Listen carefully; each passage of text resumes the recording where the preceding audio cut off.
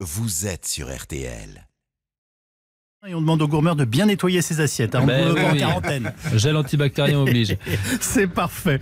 Bonne journée Julien et bonjour à tous. Ce matin, RTL reçoit comme invité politique l'ex-ministre de la Santé Agnès Buzyn. Elle est désormais candidate euh, de la République En Marche à Paris et répondra aux questions d'Alba Ventura sur la campagne parisienne. Anne Hidalgo est-elle intouchable? Faut-il annuler le semi-marathon de Paris dimanche dans les rues de la capitale? Et quelle nouvelle politique pour faire respirer Paris? Rendez-vous à 7h45. Le coronavirus toujours et encore à 8h20. Nous serons avec le professeur Eric Combe. C'est dans son hôpital que vient de décéder le dernier patient atteint par le virus. Nous sommes le jeudi 27 février 2020. Bonne journée à tous. RTL, il est 7h. RTL Matin, Yves Calvi. Le journal avec Dominique Tenza. Bonjour Dominique. Ah, Bonjour Yves et bonjour à tous. À la recherche du patient zéro, le compte à rebours a démarré. Qui a contaminé l'enseignant décédé dans la nuit de mardi à mercredi, premier mort français du coronavirus? Il n'avait récemment voyagé ni en Italie ni en Chine. Une cellule de crise a été ouverte pour tenter de retracer son parcours. Quand l'épidémie fait les beaux jours d'une entreprise française, l'économie est à l'arrêt, pas pour tout le monde. Ce fabricant de thermomètres vient même d'embaucher.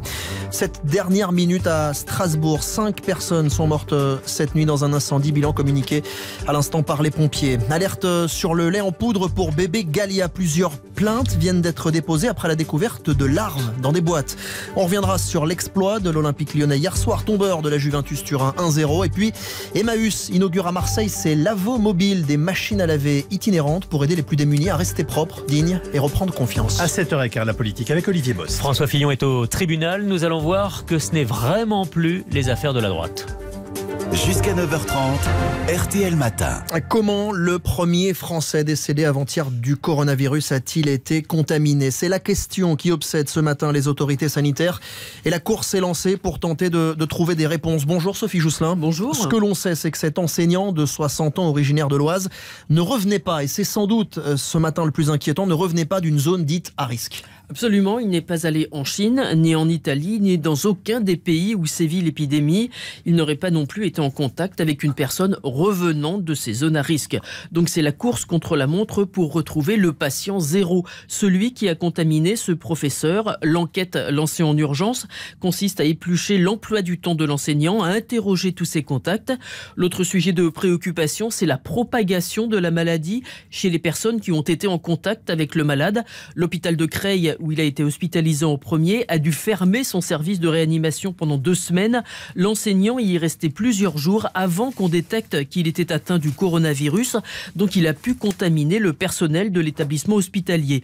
Du côté du collège, le professeur était absent depuis le 12 février. Donc compte tenu du délai d'incubation de 14 jours maximum, le risque semble écarté aujourd'hui. Mais le rectorat est en train de contacter tous les élèves qui ont eu cours avec cet enseignant juste avant son arrêt maladie. On va euh, justement, Sophie, écouter euh, certains de ses élèves. Ils sont scolarisés au, collège La Fontaine à Crépy-en-Valois. Donc, euh, ils ont eu cours juste avant son arrêt maladie avec cet enseignant. On l'avait eu euh, le lundi et il nous parlait normalement, comme si de rien n'était. Euh, Mes parents ils m'ont demandé si, bah, si j'avais des signes euh, mal à la tête, euh, je toussais, euh, j'avais de la fièvre. Moi, bah, demain, j'ai un rendez-vous avec le médecin. Euh, ma mère, elle, elle a pris un rendez-vous pour que je sois sûre que j'ai rien. Vu que, vu que je l'ai eu plusieurs fois, ce prof. On va quand même vérifier au médecin pour être sûr. Réaction recueillie par Benjamin Boucriche. Le rectorat d'Amiens se laisse 24 heures pour décider ou non de fermer l'établissement. La rentrée scolaire est prévue lundi. Pour l'instant, en France, on va rappeler le bilan. Deux mois quasiment après l'apparition de l'épidémie en Chine. Deux morts, un touriste chinois et donc cet enseignant français. 12 patients ont été guéris, mais quatre malades sont toujours hospitalisés, dont euh, Sophie Jousselin, un autre homme, lui aussi, dans l'Oise, à Amiens. Est-ce qu'il y a un risque de foyer dans ce département? Alors c'est ce qu'on redoute effectivement. Ce deuxième cas, c'est celui d'un homme de 55 ans qui travaille sur la base militaire de Creil. Il est dans une situation préoccupante à l'hôpital d'Amiens. Lui non plus n'a pas voyagé dans une zone à risque. Les deux hommes ne se connaissaient pas. Donc la crainte, c'est qu'il se passe dans cette région ce qui s'est passé dans la région de Codogno en Italie. Une contamination mystère, un malade non non signalé qui a transmis le virus et qu'on ne sait pas repérer. Merci beaucoup Sophie Jousselin. Les autorités en tout cas se veulent rassurantes. Édouard Philippe recevra tout à l'heure à 11h30 les différents groupes parlementaires. Sans attendre, certains ont choisi euh, d'annuler eux-mêmes plusieurs événements publics. C'est le cas du carnaval de Nice. Le dernier jour prévu samedi n'aura pas lieu. Idem pour la fête du citron dans la ville voisine de Menton. Pour autant, il n'y a pas lieu de paniquer ni de porter un masque, rappelle Jérôme Salomon, le directeur général de la santé. La meilleure solution, c'est peut-être encore de laver les mains. On est tout le temps en train de se toucher le visage. Euh, les statistiques montrent qu'on se touche le visage une fois par minute. Automatiquement, c'est un réflexe. L'importance du lavage des mains est à souligner parce que finalement, on touche des objets contaminés, un mouchoir qu'on ne jette pas, euh, une fa la façon euh, maladroite dont on, qu'on a de tousser ou d'éternuer. Et donc les mesures barrières qui sont rappelées tous les ans, et en particulier cette année, doivent être évidemment bien compris, bien connus de nos concitoyens. Jérôme Salomon, le directeur général de la santé. La panique, l'angoisse, certains peu scrupuleux en ont fait un business en Italie. La police milanaise a annoncé hier avoir saisi des centaines de masques de protection contrefaits dont la qualité semblait douteuse, ainsi que du gel antibactérien vendu sur Internet à des tarifs prohibitifs, 300 euros le flacon. Face à l'épidémie, les Italiens se sont rués dans les pharmacies provoquant des pénuries, une aubaine pour les escrocs. Eux aussi, quelque part, profitent un peu de cette crise sanitaire, mais en toute légalité, cette fois en Seine-et-Marne, le dernier fabricant français de thermomètres. L'entreprise Style prévoit même d'embaucher. Reportage Thomas Dulin. Depuis quelques semaines, les chaînes de production de l'entreprise de Gérard Lux tournent à plein régime. Très récemment, d'anciennes fabrications ont même été relancées. Ce que vous voyez, le souffleur là-bas, ce sont des produits que nous refabriquons depuis deux semaines. Les fournisseurs chinois du fabricant de thermomètres sont directement impactés par le coronavirus et leurs usines quasiment à l'arrêt. Nos partenaires euh, chinois ont actuellement un quart de leurs opérateurs sur les sites, ce qui fait qu'ils ne peuvent pas produire pour nous, ce qui va nous permettre de refabriquer des produits que nous fabriquons plus depuis 5 ans, 6 ans, 10 ans. On fabriquait à peu près 200 000 euh, thermomètres par an en France. On va passer en moyenne à 400 000. Avant le début de l'épidémie, 30% de la production était française. À terme, Gérard Lux aimerait passer à 50% et pour absorber cette rapide hausse d'activité, on a embauché Sandra qui vient d'arriver il y a une semaine. Pour moi, c'est une grande chance parce que la France, c'est difficile de trouver le travail. Sandra est portugaise. Le coronavirus lui a permis d'avoir un, un poste beaucoup plus rapidement. J'aime beaucoup travailler ici et le patron c'est très bien avec nous. Avec Sandra, le dernier fabricant de thermomètres français compte désormais 15 salariés. Un 16e est déjà prévu dans les mois à venir. Reportage de Thomas Dulin. Et puis dans ce contexte, sachez enfin qu'Emmanuel Macron se rendra à Naples tout à l'heure. Malgré la crise, le président est attendu pour un sommet euh, prévu de longue date où l'on parlera de tout sauf du coronavirus. À 7h45, Agnès Buzyn, ancien ministre de la Santé et désormais candidate à la mairie de Paris, faut-il annuler le semi-marathon dimanche? Et puis à 8h20, le professeur Eric Combes, c'est dans son hôpital. Je vous le rappelle que vient de décéder le dernier patient atteint du virus. RTL matin, 7h07. Des vers et des larves retrouvés dans des boîtes de lait en poudre.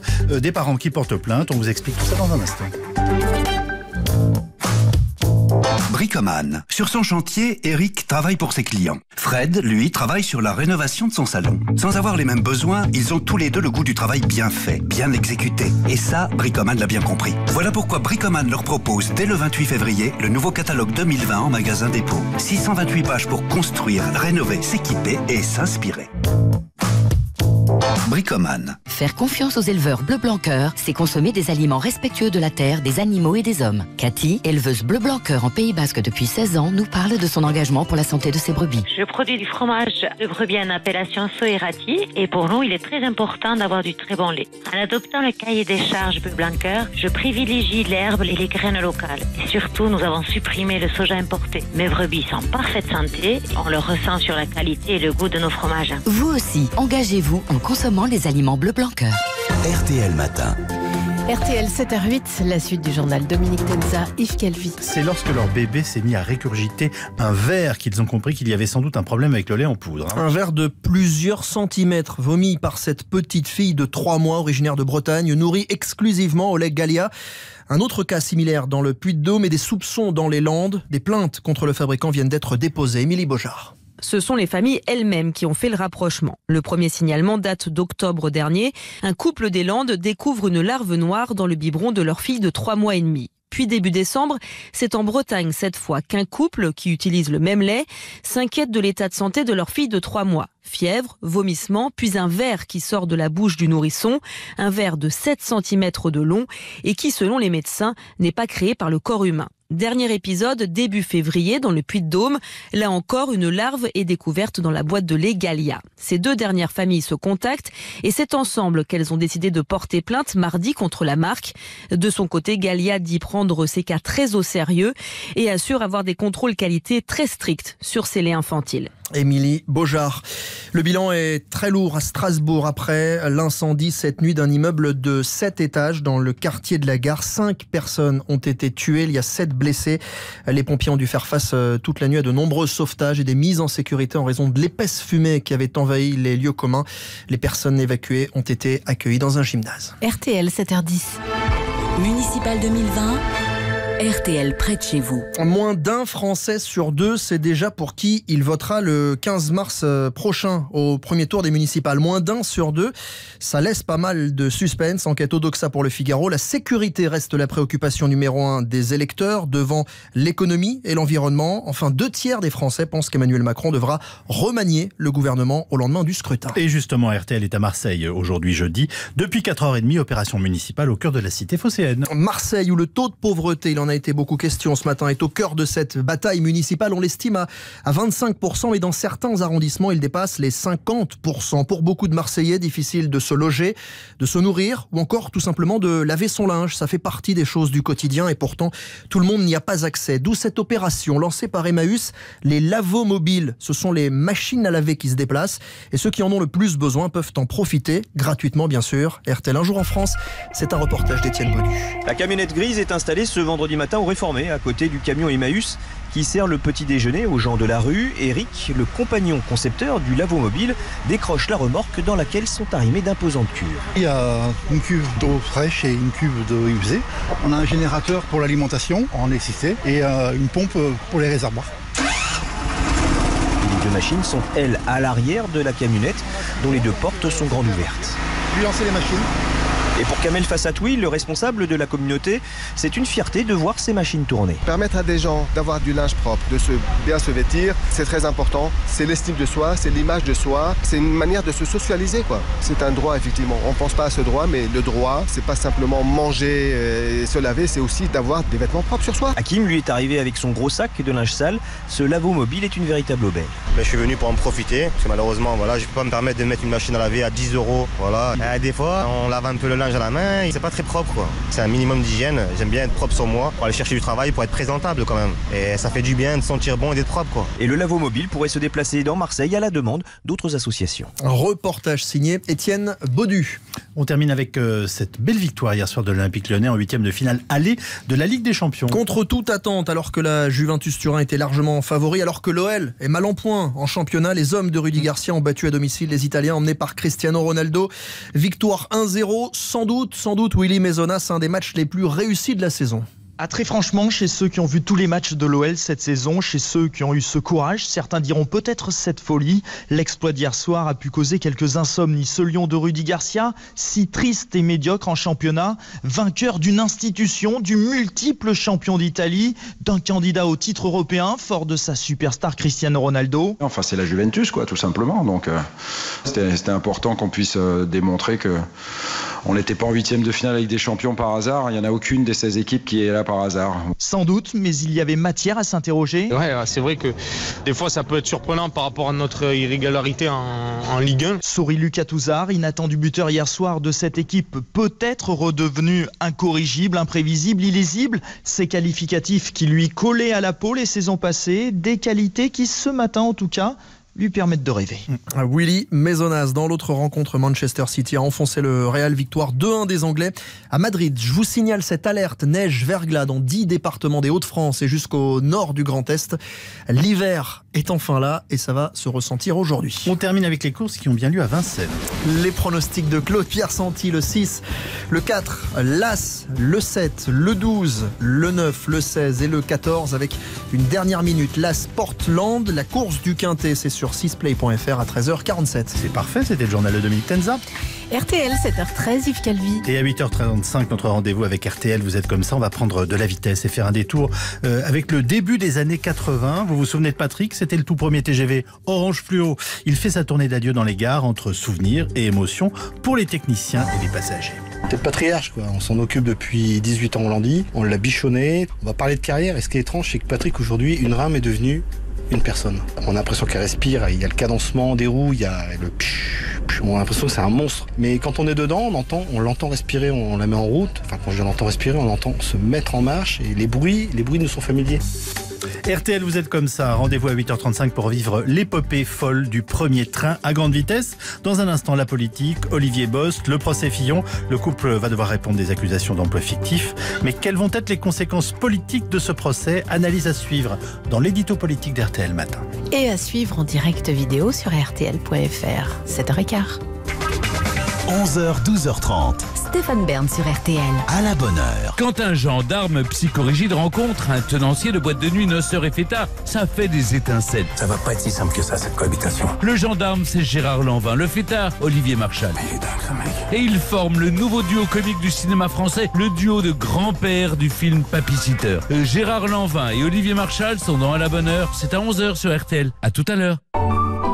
C'est le grand retour des tickets d'or. Et cette année, les magasins U ont voulu être encore plus généreux avec leurs clients. Sonia, hôtesse de caisse, nous dit tout. Eh oui, cette année, il n'y a pas 5 mais 6 millions d'euros carte U mis en jeu. Ce qui vous laisse encore plus de chances de gagner jusqu'à 50 euros carte U en grattant un ticket d'or. Donc plus vous passez en caisse avec votre carte U, plus vous avez des chances d'encaisser. U.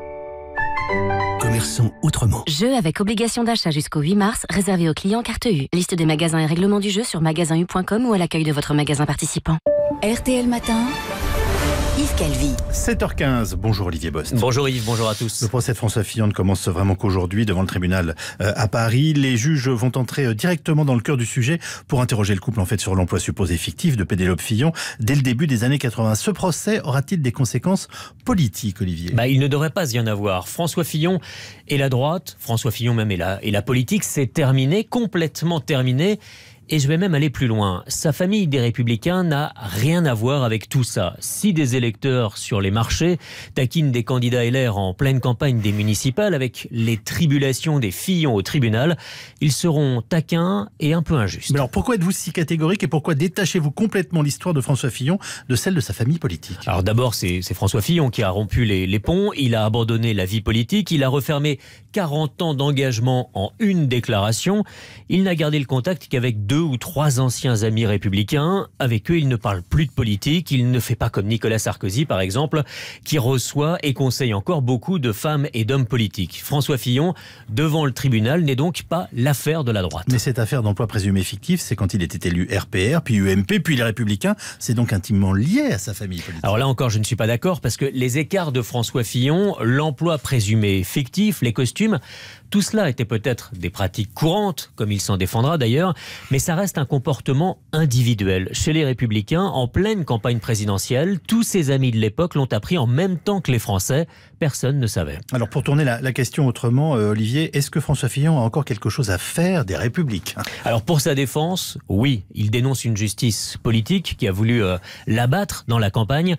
C'est vrai que le parquet est allé très très vite, mais quand François Fillon parle d'un cabinet noir pour le faire tomber, il n'y a encore pas le début d'une preuve. De toute façon, François Fillon se contrefiche des républicains. C'est d'ailleurs bien ce que lui reprochent des élus aujourd'hui. Il n'a jamais voulu abandonner pendant la campagne présidentielle. Il a laissé tout le monde en plan. Et si son procès se déroule pendant la campagne des municipales, ce n'est pas lui que ça dérange. Ses avocats ne s'y sont pas opposés. C'est ce que ne manque pas d'ailleurs de faire remarquer aujourd'hui des responsables des républicains. Alors il ne reste pas moins que François Fillon a fait perdre les républicains en 2017. Hein. Alors ça c'est vrai, mais là encore, les républicains n'ont plus grand-chose à voir avec cette époque. Il ne porte plus du tout le programme de François Fillon. 500 000 fonctionnaires en moins, une remise en cause de la sécurité sociale, un ultra-libéralisme assumé. Tout ça, c'est derrière eux. Les républicains d'aujourd'hui et ceux qui gravitent autour, que ce soit François Barouin, Xavier Bertrand, Valérie Pécresse, sont d'une tonalité bien plus gaulliste sociale, avec euh, des fondamentaux régaliens forts. Il faut aussi rappeler que les républicains ont connu, euh, entre-temps, une phase plutôt droitière avec l'expérience Laurent Wauquiez. Tout cela les a ramenés à une droite que l'on peut qualifier aujourd'hui de plus classique, ce qui ne veut pas dire que c'est beaucoup plus simple pour eux, mais François Fillon, procès ou pas, condamnation ou pas, appartient bel et bien au passé. Olivier Bost, dont on retrouve l'éditorial sur RTL.fr, et je vous rappelle à 7h45, Alba Ventura reçoit ce matin Agnès Buzyn, ancien ministre de la Santé et désormais candidate à la mairie de Paris, euh, tête de liste La République En Marche dans le 17e arrondissement. Tout de suite, nos 3 minutes pour comprendre. C'est donc aujourd'hui aussi que doit s'ouvrir le procès en appel de Redouane Faïd pour le braquage d'un fourgon en 2011, mais des incertitudes planent notamment sur la tenue du procès du pro de l'évasion. Bonjour Jean-Alphonse Richard. Bonjour Yves, bonjour à tous. On vous retrouve chaque soir entre 20h et 21h pour l'heure du crime, mais aussi le samedi pour vos confidentiels de 13h30 à 14h30. Et vous allez nous aider à comprendre les enjeux de ce procès. Euh, Dites-nous Jean-Alphonse, pourquoi ce procès est-il si particulier? Eh bien tout d'abord parce que Redouane Faïd aujourd'hui reste le criminel le plus connu en France. Hein. Il a participé lui-même à la construction de sa légende, qui est contestée parfois, mais il n'en demeure pas moins que c'est une célébrité. Et puis deuxième point, euh, c'est un homme qui s'est déjà évadé euh, deux fois. Euh, avril 2013, l'île Sequedin, juillet 2018, Réau, en Seine-et-Marne. S'évader une fois pour un criminel, c'est déjà beaucoup. Alors deux fois, c'est exceptionnel. Du fait, le, le, fait est qu'il y a aujourd'hui des, des, conditions de sécurité exceptionnelles autour de ce procès. Hein.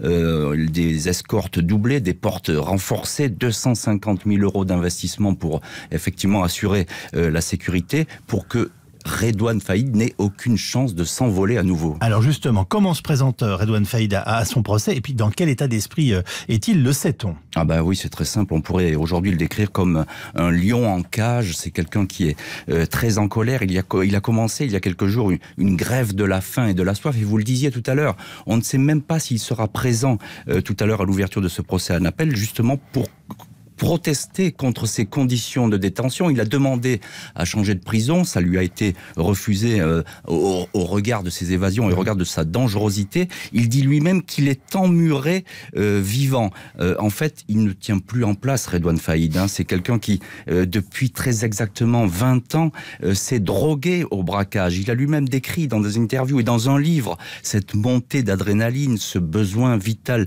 de braquer avec ces attaques de fourgon qui sont très spectaculaires et dans lesquels il est acteur, mais dans lesquels il est aussi euh, spectateur. Il a besoin, lui encore aujourd'hui, de cette odeur du braquage Alors, et il ne tient plus en place. On, on comprend, vous écoutant, que Redouane Faïd est addict au, braquage. C'est son seul moyen d'exister finalement. Oui, c'est même sa raison de vivre. Hein. Il suffit pour cela de regarder sa trajectoire. C'est très simple. Premier braquage, celui d'une petite agence bancaire, alors qu'il est en terminale. Il est, il est lycéen, Redouane Faïd. Et puis, euh, les braquages, effectivement, ne vont jamais cesser. Toujours plus risqués, toujours plus euh, spectaculaires. Premier fourgon attaqué, c'est en 1997 à Villepinte. Et ce jour-là, c'est très important pour Edouard Faïd parce que euh, il franchit un cap, il entre dans la cour des grands. Hein. Le braquage de fourgon, c'est vraiment le graal pour euh, pour les criminels. Euh, et puis il va, ça, la légende est connue. Hein, il va s'inspirer de fiction, de films, hein, de, Michael Mann, par exemple, Hit. C'est un film qui va beaucoup le marquer. un jour, il va séquestrer d'ailleurs un, un, directeur de banque, et là, il va s'inspirer d'un autre film qui s'appelle Point Break, dans lequel les criminels portent des masques masques. Et là, lui, avec ses complices, ils vont, ils vont porter des masques, mais de politiciens de l'époque, c'est-à-dire des masques de euh, François Mitterrand, Michel Rocard ou Édouard Balladur. Alors, on, on, comprend qu'il aime le cinéma, euh, Jean-Alphonse. Les, les, experts psychiatres l'ont souvent décrit comme une personnalité narcissique au point de prendre justement tous les risques. Oui, absolument. Hein. Il y a une expertise très très intéressante qui a été faite euh, après les, la première évasion, c'était l'évasion de, de l'île Sequedin, et les psychiatres avaient relevé une propension chez lui à prendre des risques inconsidérés. Alors ça s'appelle sensation seeking, c'est-à-dire la, la recherche des la sensations fortes euh, des sensations physiques face au risque et le goût de se mettre en danger. Et ces mêmes experts ajoutaient que l'inactivité, je les cite, hein, entraîne chez Redouane Faïd un état de manque et des crises d'angoisse on en revient à ce qu'on disait, c'est-à-dire cette addiction au braquage, ce besoin effectivement de bouger, de s'en sortir. Même s'il était euh, acquitté, euh, Redouane Faïd ne sortira pas de prison, Jean-Alphonse. Hein. Euh, donc quel pourrait être son avenir? Oh bah Écoutez, je, si la prison ne le brise pas, ça va être compliqué pour lui, parce que dans les 20 euh, années qui viennent, il va sûrement rester en détention. Ce qui est sûr, je ne suis pas dans sa tête, hein, à Redouane mais ce qui est sûr, c'est qu'il a une obsession aujourd'hui, c'est de s'en sortir à tout prix. Et pour cela, il doit réfléchir à nouveau à un nouveau scénario d'évasion. C'est tout à fait probable. C'est dans la logique du personnage. Donc, on reparlera peut-être de lui, mais en tout cas, euh, dans, les années, qui viennent, il va effectivement rester euh, en, cellule, au moins pour les, les, 20, les 20 années qui viennent. Incroyable personnage et incroyable profil. Merci beaucoup, Jean-Alphonse Richard. On euh, retrouve de 20h à 21h ce soir, on vous retrouve pour l'heure du crime qui sera consacrée à l'affaire En un clic, réécoutez vos programmes préférés 24 h sur 24. Rendez-vous sur RTL.fr. Merci d'écouter RTL.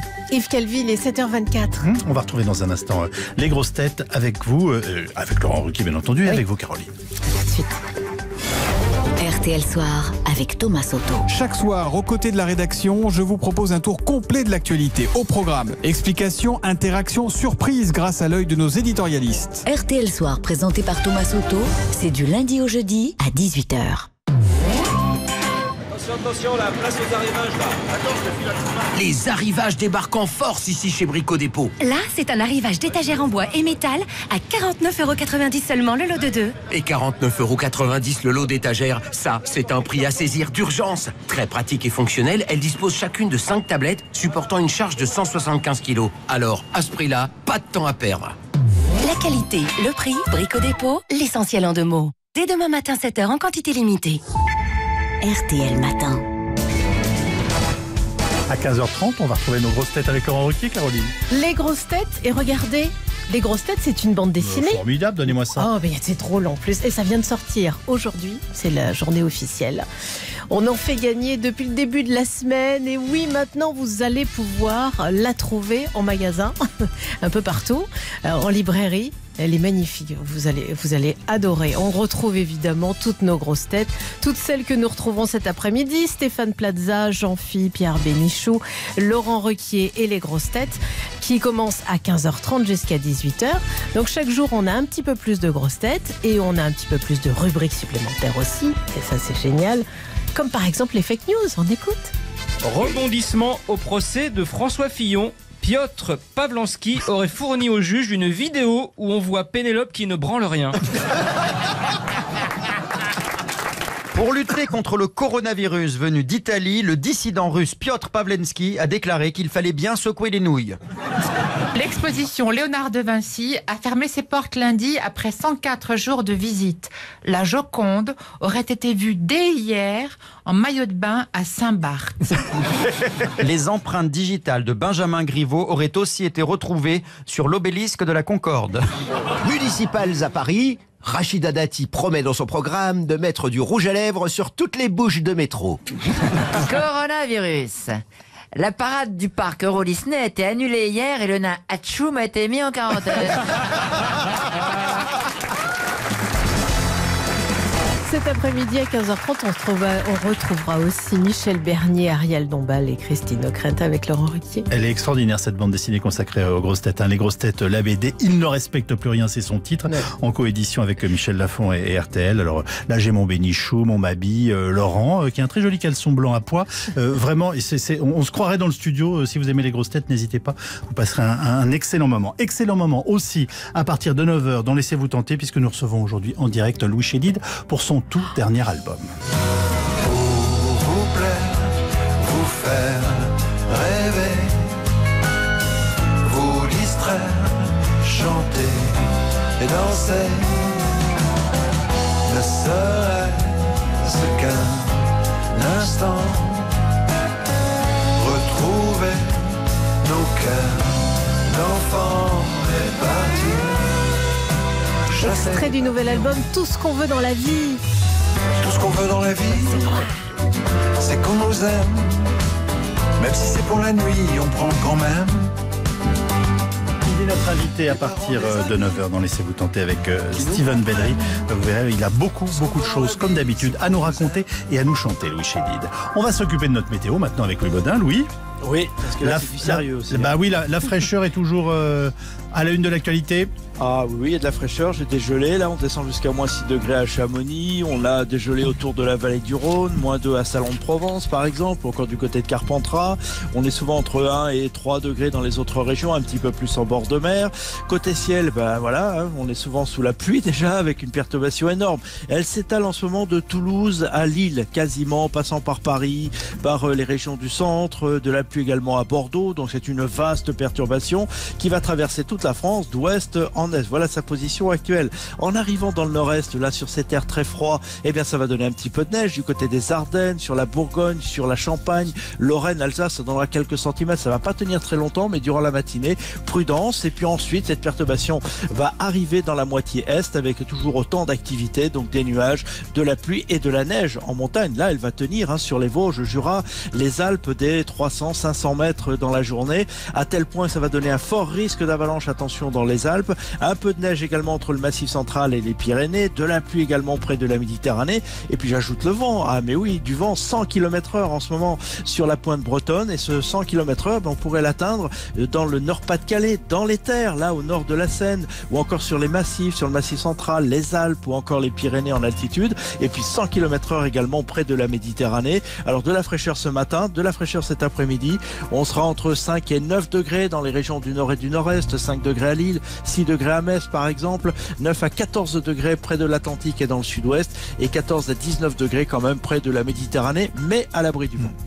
Du vent, de la neige et du froid, on a une météo agitée. Merci beaucoup Louis Baudin. RTL, 7h30. RTL Matin, Yves Calvi. 7h30, toute info avec Amandine Bégaud pour tout entendre de l'actualité de ce 27 février. Bonjour Amandine. Et bonjour Yves, bonjour à tous. Et pour commencer cette dernière minute, ce drame, cette nuit à Strasbourg, un incendie a fait 5 morts. Et Yannick Colomb, bonjour, vous êtes sur place pour RTL. Oui, les pompiers ont été appelés à 1h16 du matin pour un feu dans un immeuble de 7 étages datant des années 70 dans le quartier de la gare à Strasbourg. L'incendie a pris dans les parties communes, un foyer pas très important mais qui a dégagé d'importantes fumées et à leur arrivée, toute la cage d'escalier était irrespirable et c'est ce qui a piégé les habitants qui ont tenté de fuir. Le bilan est lourd, 5 morts, 7 habitants hospitalisés en urgence, intoxiqués eux aussi par les fumées et 23 habitants ont été secourus par les fenêtres. Ils ont été placés dans un gymnase à proximité. Merci beaucoup Yannick Colomb en direct de Strasbourg pour RTL. Et je vous rappelle donc ce bilan hein, euh, extrêmement lourd après cet incendie dans un immeuble de la ville, 5 morts et au moins 7 blessés. L'épidémie de coronavirus et les experts cherchent toujours à comprendre comment l'homme de 60 ans qui est mort hier a pu être contaminé. Il n'avait pas voyagé dans une zone à risque. Des investigations sont menées notamment dans le collège de Crépy-en-Valois, dans l'Oise où il enseignait. Stéphanie Dameron est la rectrice de l'Académie d'Amiens. Nous travaillé sur les listes à la fois des élèves et du personnel. Nous sommes en train de les contacter un par un. On essaie de retracer le parcours de l'enseignant durant notamment les deux journées où il a été potentiellement euh, contagieux. Des propos recueillis pour RTL par Antoine de Carne, l'hôpital de Creil, où ce patient avait été admis dans un premier temps, à lui déclenché le plan blanc. Le personnel qui a été en contact avec lui pourrait être placé à l'isolement des mesures de quarantaine qui se multiplient. Le ministre de la Santé a annoncé hier soir que tous les salariés contraints de rester chez eux seront bien indemnisés. Il s'agit d'une procédure dérogatoire qui a été adoptée par un décret. Il permet à tous les assurés sociaux qui font l'objet d'une mesure d'isolement, d'éviction ou de maintien à domicile, c'est-à-dire des personnes qui se trouvent dans l'impossibilité de travailler mais qui ne sont pas malades, de bénéficier pendant une durée maximale de 20 jours d'un arrêt de travail et d'indemnités journalières versées par l'assurance maladie sans délai de carence. Olivier Véran, le ministre de la Santé au micro RTL d'Odile Pouget. Bonjour Pierre Collat. Bonjour. Euh, concrètement, euh, ça, ça, concerne qui ces mesures? Eh bien, cela concerne potentiellement tous ceux qui reviennent d'une zone à risque ou qui ont été en contact avec des personnes de retour de ces zones. Quel que soit le motif du séjour, pour le travail ou pour des vacances, l'employeur doit être prévenu. S'il est décidé que le salarié reste confiné chez lui, il pourra bénéficier de ces indemnisations. Cela concerne aussi les parents dont les enfants font l'objet d'une mesure d'isolement. Eux aussi pourront être indemnisés. Ces, ces indemnités journalières correspondent à 50% du salaire journalier de base. Elles sont plafonnées plafonné à 20 jours et commence dès le début du confinement. Les trois jours de carence habituels sont supprimés. Merci beaucoup Pierre. Pierre Collat pour RTL. Et cette épidémie, on le rappelle, hein, sera au cœur des discussions aujourd'hui à Matignon, euh, puisque le Premier ministre reçoit les chefs de parti et les présidents des groupes parlementaires pour faire un point. À 8h20 sur RTL, nous sommes avec le professeur Eric Combe de la Pitié-Salpêtrière. C'est dans son hôpital euh, que vient de décéder le dernier patient atteint par le virus. Et c'est dans ce contexte que l'OL affrontait hier soir la Juventus Turin, match de huitième de finale aller de Ligue des Champions dont on avait euh, pour certains hein, réclamé l'annulation. Il a finalement bel et bien eu lieu et de quelle manière puisque les Lyonnais se sont imposés 1-0 face à l'un des favoris de la compétition. Le but est signé Lucas Touzard. Très heureux déjà euh, de la de la victoire parce que euh, on avait besoin je pense de ce match référence et euh, on s'est tous fait plaisir ce soir. D'abord nous et je pense qu'on a fait plaisir aussi aux supporters. C'est bien on montre une belle image de, de Lyon. Il y a un manque de régularité sur la saison on en est conscient mais on est encore qualifié dans toutes les compétitions. Donc non on a fait un match complet et il doit nous aider pour la suite Lucas Touzard au micro RTL de Sylvain Charlet. Le match au retour, on le rappelle, est prévu le 17 mars. Dans l'actualité également, ce procès à haut risque. Le procès de Redouane Faïd, l'as de l'évasion, hein, comme on le surnomme, est jugé en, en appel pour le braquage d'un fourgon blindé en 2011. Procès qui pourrait être reporté. Redouane Faïd refuse en effet d'être extrait de sa cellule, en grève de la faim depuis une semaine. Il proteste contre ses conditions de détention. 24 familles portent plainte après les révélations de l'Express sur les conditions de conservation des corps à l'université de médecine Paris-Descartes. D'autres plaintes pourraient suivre. Des familles qui manifesteront euh, aujourd'hui. Elles réclament l'ouverture d'une instruction. Laurence Dezélé est l'une des plaignantes. Du chagrin, c'est de la colère, c'est de voir la trahison que ma maman a subie, puisqu'elle a voulu donner son corps de bon cœur pour aider euh, les futurs médecins, les futurs chirurgiens, et que finalement, peut-être que son corps n'a servi à rien parce qu'il a peut-être pourri dans une chambre froide qui n'était pas réfrigérée. Elle a peut-être été mangée par les rats. Et puis euh, peut-être qu'elle a servi, mais pas du tout à ce qu'elle voulait. C'est-à-dire qu'on l'a peut-être vendue à la découpe pour se faire de l'argent. Ce qui est urgent maintenant, c'est que le procureur nous entende, qu'il nomme un juge d'instruction pour qu'il y ait une instruction des plaintes qui soit faite, qu'on ne referme pas cette affaire, qu'on ne l'étouffe pas surtout. Laurence Dezélé qui a donc porté plainte hein, dans cette affaire, un témoignage euh, très fort au micro RTL de Cindy Hubert. Un peu plus euh, de deux semaines maintenant du premier tour des municipales. Premier meeting hier soir pour Anne Hidalgo. La maire de Paris réunissait ses troupes à l'Élysée-Montmartre et elle a notamment ironisé sur l'apaisement prôné par Agnès Buzyn. Ah, l'apaisement. Mes amis, l'apaisement, c'est aussi un dialogue social permanent qui permettrait d'éviter que Paris ne devienne le champ d'affrontement des colères du pays. L'apaisement, c'est un hôpital public qui fonctionne et qui permet à ceux qui y travaillent d'exercer leur mission dans des conditions dignes. Extrait du discours d'Anne Hidalgo hier en, au meeting des propos recueillis pour RTL par Marie-Bénédicte Allaire. Et Agnès Buzyn aura l'occasion de lui répondre dans un instant, puisque l'ancienne ministre de la Santé, désormais candidate à la mairie de Paris dans le 17e arrondissement, est l'invitée ce matin d'Alba Ventura. Oui, Paris où le cabaret de Michou ne fermera finalement pas ses ah bon portes. Et oui, c'est une info RTL.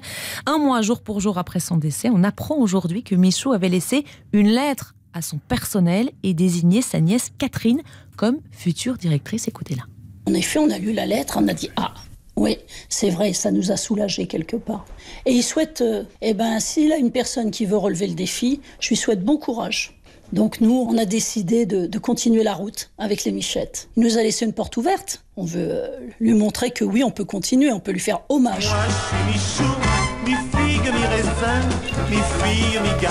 Ça, c'était juste pour vous faire plaisir, le petit extrait. Bah oui. Euh, Catherine Cathy, la nièce de Michou, elle était au micro RTL de Laurent Marsic. C'était le Tout Info. Avec Amandine Bégaud, nous nous retrouvons à 8h40 pour la revue de presse. Et je vous parlerai d'une autre institution. un petit homme. Vous la connaissez cette chanson Oui. Bon, Pirouette Cacahuète, chanson que tous les parents connaissent. Oui. On a appris hier le décès de sa créatrice et figurez-vous qu'elle n'a jamais touché un sou pour cette chanson. Je vous raconterai l'histoire dans la revue de presse. Vous expliquez tout cela à 8 Pas une cacahuète. Pas une cacahuète. RTOL, RTOL, RTOL, je fais une petite pirouette. Il est 7h36, Yves Il est temps de retrouver François Langlais. Bonjour, cher François. Bonjour Yves. J'ai envie de vous dire ce matin, l'anglais au rapport. Oui, on va s'intéresser à l'armée et la stratégie en matière d'équipement Mhm. en drone. Il semble que l'armée française ait confié à l'inspecteur Gadget le soin de construire ces drones qui ressemblent plutôt à la déesse de Fantomas, vous vous souvenez à la fin du film Ah oui. Si ce n'est que ça... Pan, pan, pan, pan. Je t'aurais bien. Fantomas. Voilà.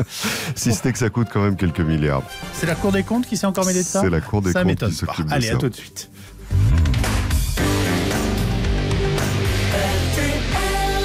Qui peut concurrencer MAF Pro Pour deux contrats, je paie moins cher. 200 euros me sont offerts. Une belle promo. Moi qui suis pro, je préfère MAF Pro. Avec MAF Pro, jusqu'au 31 mars, bénéficiez de 200 euros de réduction pour la souscription d'un contrat auto-tout-risque et d'un contrat multirisque pro. Waouh Moi qui suis pro, je préfère MAF Pro. Conditions sur maf.fr et dans les agences MAF. RTL Matin, Yves Calvi. 7h38, l'anglais co avec vous, François Langlais. Bonjour à tous. L'armée française joue de malchance avec ses fameux drones, ces aéronefs pilotés à distance. De malchance ou plutôt d'incompétence, si on en croit la Cour des comptes, dont le rapport publié il y a deux jours contient un chapitre sur le fiasco des drones. Les drones, vous l'avez dit, ce sont de petits avions dirigés du sol, sans pilote à bord. Ils permettent de faire des missions de reconnaissance, euh, ils peuvent aussi être engagés dans les combats, seuls ou bien en appui des forces terrestres. Ils ont jusqu'à 30 ou 40 heures d'autonomie. Toutes les grandes armées du monde les utilisent, de plus en plus d'ailleurs. Le nombre de drones capables de tirer des missiles a ainsi doublé dans le monde sur les cinq dernières années.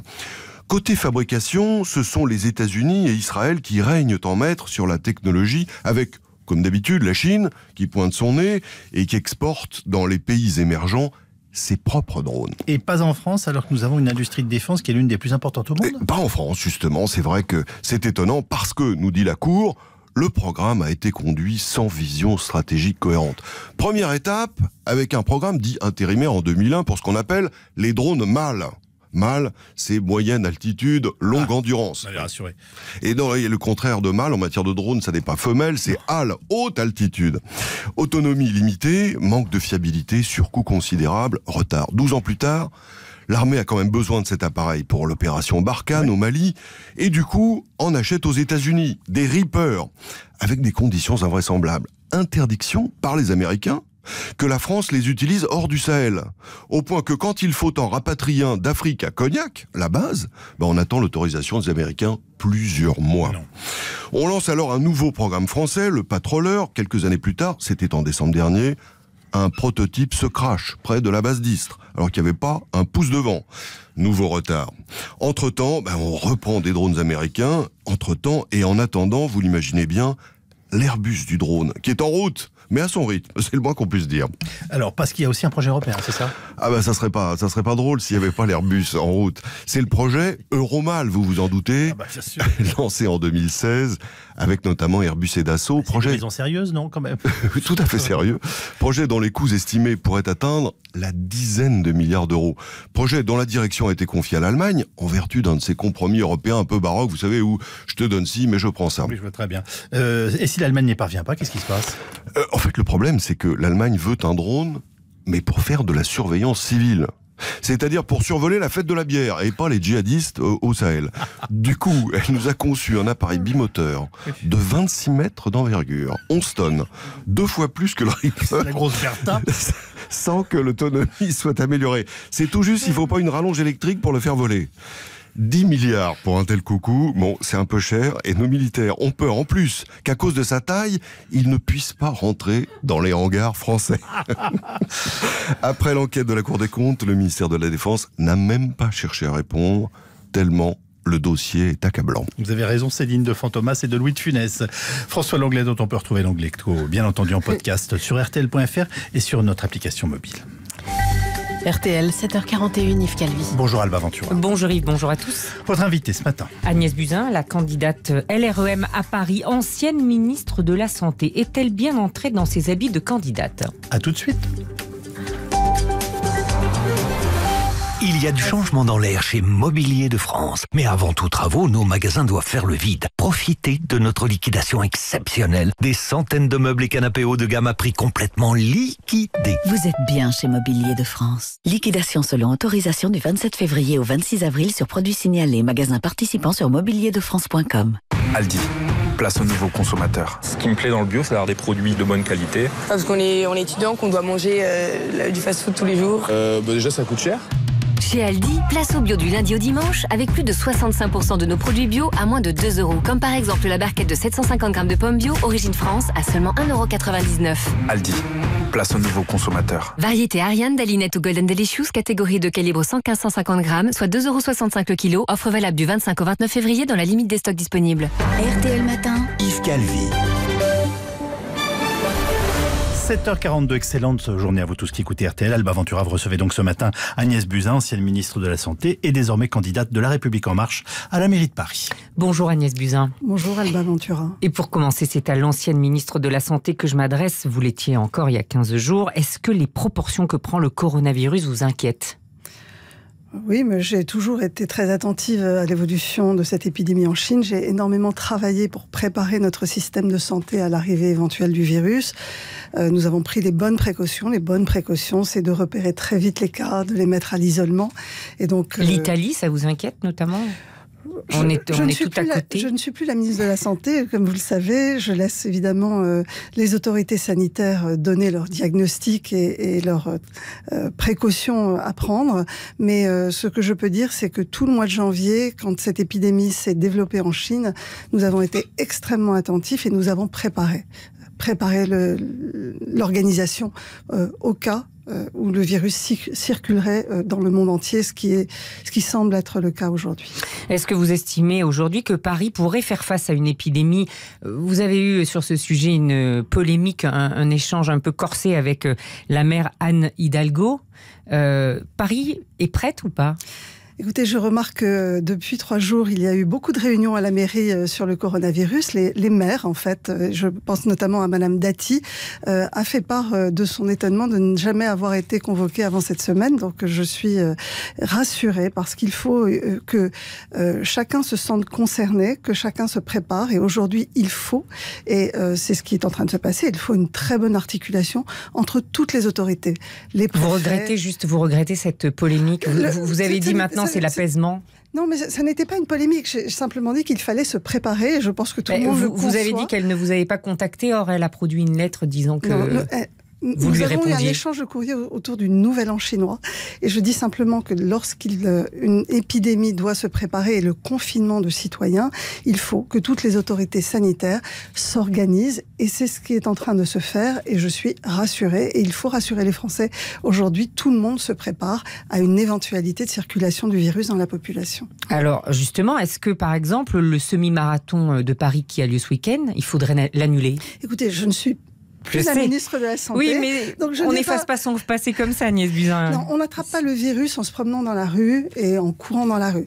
Euh, voilà, donc c'est tout ce que je peux dire aujourd'hui et je laisse évidemment le ministère de la Santé jouer son rôle plein et entier d'autorité sanitaire. Mais vous êtes en contact avec Olivier Véran, j'imagine Nous nous euh, parlons régulièrement. On va parler de la campagne de Paris. Agnès Buzyn, c'est une campagne ultra courte que vous devez mener après avoir remplacé euh, Benjamin Griveaux. Anne Hidalgo dit que vous êtes conservatrice dans le sens où, comme, euh, comme la droite, comme Rachida Dati, vos axes de campagne sont la sécurité et la propreté. Vous êtes conservatrice? Elle oublie euh, mes deux autres priorités qui sont euh, l'adaptation de la ville au changement climatique et l'accompagnement du vieillissement de la population avec une mesure dont je tiens absolument à ce qu'elle se mette en place, qui est un service public du maintien à domicile des personnes âgées. Aujourd'hui, c'est un défi. Euh, les personnes âgées veulent vieillir chez elles. Les familles euh, connaissent la complexité de faire intervenir énormément de personnes au domicile. Ça représente combien de personnes d'ailleurs? Aujourd'hui, il y a 30 000 personnes dépendantes à Paris euh, qui sont chez elles et qui sont accompagnées. Et il faut évidemment simplifier la vie des familles. Euh, il y a énormément d'aidants familiaux, vous le savez, c'est un casse-tête chinois euh, que d'organiser l'ensemble des intervenants autour d'une personne âgée. Et je veux que 24 heures sur 24, 7 jours sur 7, les, euh, Parisiennes et les Parisiens puissent appeler ce service qui les aidera à organiser le maintien à domicile d'une personne âgée. Ça représente un coût de combien? C'est ce service public pour les personnes âgées. 15 millions d'euros, c'est 5 millions d'euros d'organisation interne à la mairie et c'est 10 millions d'euros vraiment de, de, fonctionnement. Donc 15 millions d'euros sur euh, le budget euh, actuel de la mairie qui est autour de 9 milliards. Euh, c'est tout à fait absorbable et ça rendra un service immense aux Parisiens. Aux Parisiens. Qu'est-ce que vous faites alors pour l'écologie? Parce que, pardon Agnès Buzyn, je vous ai entendu parler des terrasses chauffées, vous voulez les conserver. C'est pas très écolo ça? Non, j'ai pas dit que je voulais les conserver en l'état. J'ai dit que d'abord les terrasses, c'est quand même une spécificité et l'âme de Paris. Les gens aiment être en terrasse à Paris. J'ai dit qu'il fallait les rendre plus écologiques, c'est-à-dire arrêter le chauffage au gaz, qui est extrêmement polluant, passer à l'électricité et euh, utiliser le chauffage avec parcimonie, c'est-à-dire ne pas le mettre toute la journée. Donc on, on peut trouver un moyen terme en permettant aux gens quand même d'être en terrasse sans interdire totalement euh, le, le, le, chauffage des terrasses parce que aujourd'hui nous avons besoin de préserver nos commerçants. Nous avons besoin Attendez, de préserver juste une chose parce le que cœur de ville. On va en, on va en parler, mais euh, les terrasses chauffées, c'est d'abord pour permettre aux gens de fumer. Euh, vous qui avez mené une croisade contre le tabac, j'ai bien peur de ne pas comprendre. Non, mais les gens arrêtent de fumer, non pas parce qu'il n'y a pas de terrasse, ils arrêtent de fumer parce que nous avons augmenté le prix du tabac et que c'est un mouvement euh, général aujourd'hui. Ça n'est plus dans l'air du temps de, de, fumer. Et donc, je pense que les terrasses chauffées, c'est simplement le plaisir de se retrouver ensemble à Paris dans les rues. Les, les Parisiens aiment être euh, dans les rues de Paris, ils aiment être à la terrasse, ils aiment regarder, ils aiment, ils, voilà, ils aiment cette ville comme cela. C'est la spécificité de Paris et je souhaite que l'on préserve cette âme des quartiers. Aujourd'hui, qui est en train de disparaître dans beaucoup, beaucoup de, de, de quartiers. On me parle euh, de, de, la fermeture de commerces de proximité, de commerces de bouche, de café. Or, nous en avons besoin parce que c'est ce qui crée le lien social. Est-ce que vous allez revenir sur la piétonisation des voies sur berge, sur les pistes Bien cyclables sûr que non. non. Bien sûr que non. Par contre, les pistes cyclables, nous devons améliorer leur sécurité. Aujourd'hui, ce mélange entre les voies de bus, les pistes cyclables, fait qu'en réalité, très peu de gens osent les utiliser. On voit bien que le vélo, euh, le vélo se développe, mais euh, je pense à une mère de famille euh, qui voudrait que ses enfants aillent au lycée à vélo. Elle a peur aujourd'hui. on fait quoi alors pour pas avoir peur? Ben, Aujourd'hui, on organise mieux l'espace public. On permet d'abord aux bus de retrouver leur vélocité, leur rapidité. Vous le savez que les transports en commun aujourd'hui sont, euh, se sont euh, énormément ralentis. Ça participe à cet engorgement de la ville. Ils ont été ralentis parce que beaucoup de gens circulent sur les voies de bus. Il faut qu'on permette aux bus de rouler à leur vitesse initiale. Euh, la vitesse des bus a été diminuée par deux en l'espace de six ans. Donc, Donc vous allez revoir, revoir le schéma complètement de... le schéma de, de, circulation qui est euh, totalement euh, euh, enfin incompréhensible. En réalité, quand vous circulez dans Paris, de temps en temps, à certains croisements, vous vous demandez comment ça fonctionne. Donc, je crois que tous les Parisiens connaissent cette euh, incongruité de la circulation parisienne. Euh, Aujourd'hui, je tiens à le rappeler, Madame Hidalgo a réussi à réduire le nombre de voitures à Paris, et c'est très bien, et je le souhaite aussi, mais en créant plus de bouchons, ce qui est quand même une gageure. Mais alors, vous, votre, votre mesure emblématique euh, écolo, ce serait laquelle? Alors, euh, je, il faut verdir cette ville. Il faut l'adapter au changement climatique. Il faut arrêter. Madame la... Hidalgo aussi souhaite non, la verdir. Faut, non, alors vraiment pas, puisqu'elle est en train de bétoniser. Euh, enfin, en tous les cas, l'équipe actuelle euh, est en train de bétoniser et de densifier la ville. Aujourd'hui, Paris est une des villes les plus denses du monde, 20 000 habitants au kilomètre carré. Et aujourd'hui, les projets de la gouvernance actuelle sont de continuer à construire des grands immeubles, notamment euh, à Bercy-Charenton. Il y a un projet avec six immeubles de grande hauteur, des tours. Mais ça, c'est pour refaire du 104... logement social Non, c'est pas du logement social. Je crois que les, les Français, ont, enfin, attends, les Parisiens ont besoin d'air, de respiration, d'endroits où on peut se promener. On n'a pas besoin de rajouter des immeubles.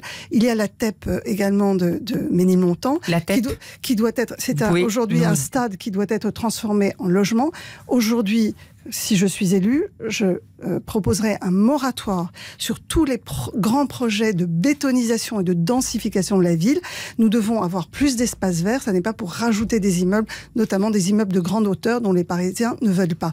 Je remarque d'ailleurs que dans la majorité euh, aujourd'hui de la mer sortante, euh, les écologistes n'en veulent pas non plus et je suis totalement en phase avec eux sur ce point. Agnès Buzyn, vous le savez, personne ne peut gagner seul à Paris. Vous tendez la main à Cédric Villani. Ses proches disent que vous lui avez fermé la porte au nez. Non, nous, nous nous sommes parlé. J'ai énormément de respect pour Cédric Villani. Nous nous connaissons depuis longtemps. Alors?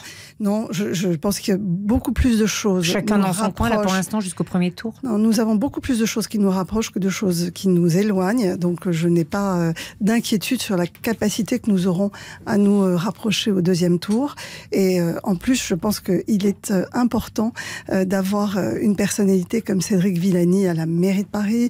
C'est quelqu'un d'extrêmement Vous pourriez innovant. vous rapprocher de Rachida Dati aussi? Je, je, voudrais connaître son programme pour savoir si je peux me rapprocher d'elle. En, en, tout, cas, cas, sur la sécurité et la propreté, vous êtes en phase Oui, mais ça ne suffit pas. Ça, je vais vous dire, c'est le minimum qu'on doit aux Parisiens, la sécurité, la propreté. En réalité, ça devrait être le programme de tous les maires, parce que c'est ce que j'appelle les fondamentaux. Une ville, elle, doit être propre et elle doit être sécurisée. Euh, ce qui compte pour moi, c'est aussi tout le reste. C'est-à-dire, mais au cas par cas, vous pourriez vous rapprocher de Rachida Dati je, par arrondissement. Je, Aujourd'hui, j'aimerais savoir ce que propose Madame Dati. Ça n'est pas clair. En tous les cas, moi, ce que je veux, c'est du rassemblement sur mes projets. Mes projets sont les plus équilibrés. Ils sont complets. Ils permettent à cette ville de retrouver un peu de sérénité. et pourtant, et pourtant, Agnès Buzyn, dans le journal Le Parisien ce matin, certains dans vos troupes émettent des doutes sur votre campagne même des doutes en général. Un député en marche va même jusqu'à dire quand tu es dans le Titanic, t'as beau changer de capitaine, ça reste le Titanic. C'est ultra motivant ça. Ça n'est pas du tout ce que je ressens sur le terrain. Non, mais vos proches ça n'est pas du tout ce que me disent la plupart de mes proches. Après qu'il y ait des personnes qui critiquent une campagne, on peut Ou toujours qui doutent. qui doutent. Ça, le doute euh, est sain dans la vie. Ça permet d'avancer et de réfléchir. Mais en l'occurrence, quand je suis euh, en campagne aujourd'hui, euh, dans les quartiers, dans les marchés, les gens viennent me voir très spontanément. Ils ont l'air d'être très heureux de cette candidature, qui n'est pas une candidature par défaut, qui est une candidature sur projet. Et cette campagne les intéresse je dirais de nouveau. Vous y croyez vraiment? Oui, j'y crois vraiment. Je, si je n'y avais pas cru, je n'aurais pas quitté le ministère des Solidarités et de la Santé. J'aurais fait campagne comme euh, euh, d'autres ministres euh, en étant ministre. c'est parce que je pense que Paris mérite un engagement complet et que je souhaite gagner cette élection, non pas pour un camp, mais pour les Parisiennes et les Parisiens qui ont besoin d'une ville plus sereine, que je me suis mise en campagne avec un engagement complet.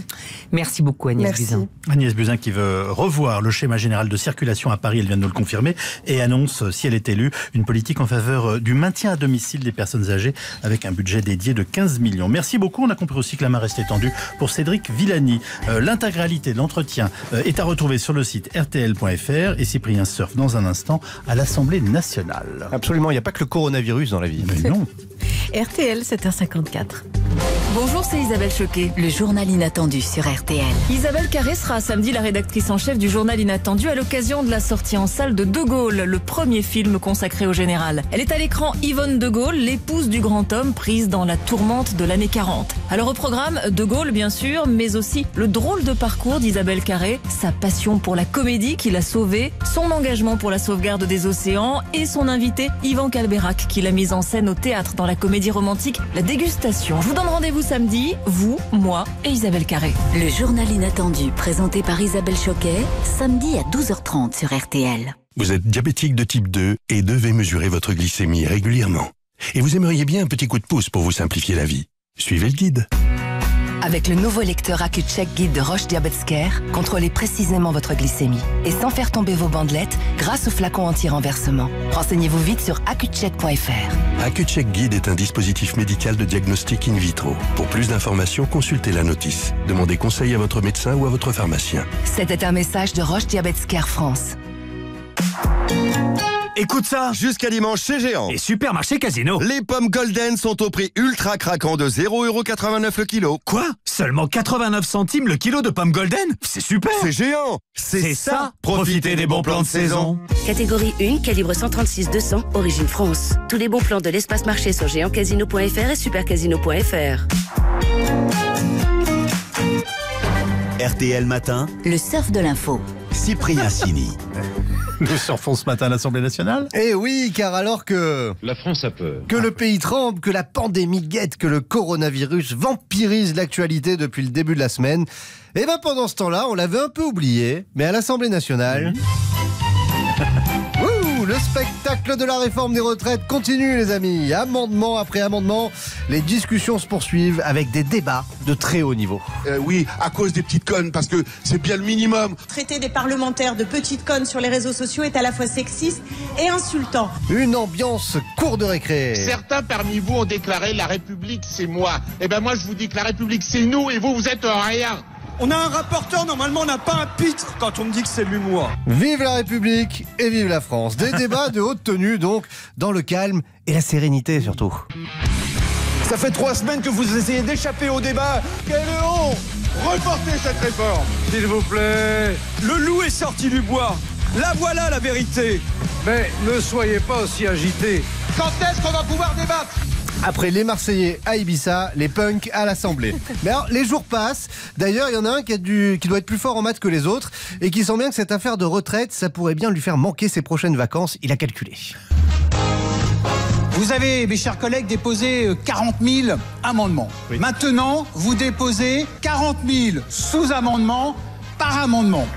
Quand vous faites le calcul simplement en prenant deux minutes le temps d'exposer, c'est 20 ans de notre Parlement, matin, midi et soir. 20 ans Oui, autant vous dire que son week-end en Normandie est compromis. Alors, évidemment, tous ces débats stériles qu'on ne regarde plus vraiment, coronavirus oblige, ben il y en a, ça commence à vraiment leur peser. Au bout de leur vie, les députés. J'en ai marre de ces références, j'en ai marre.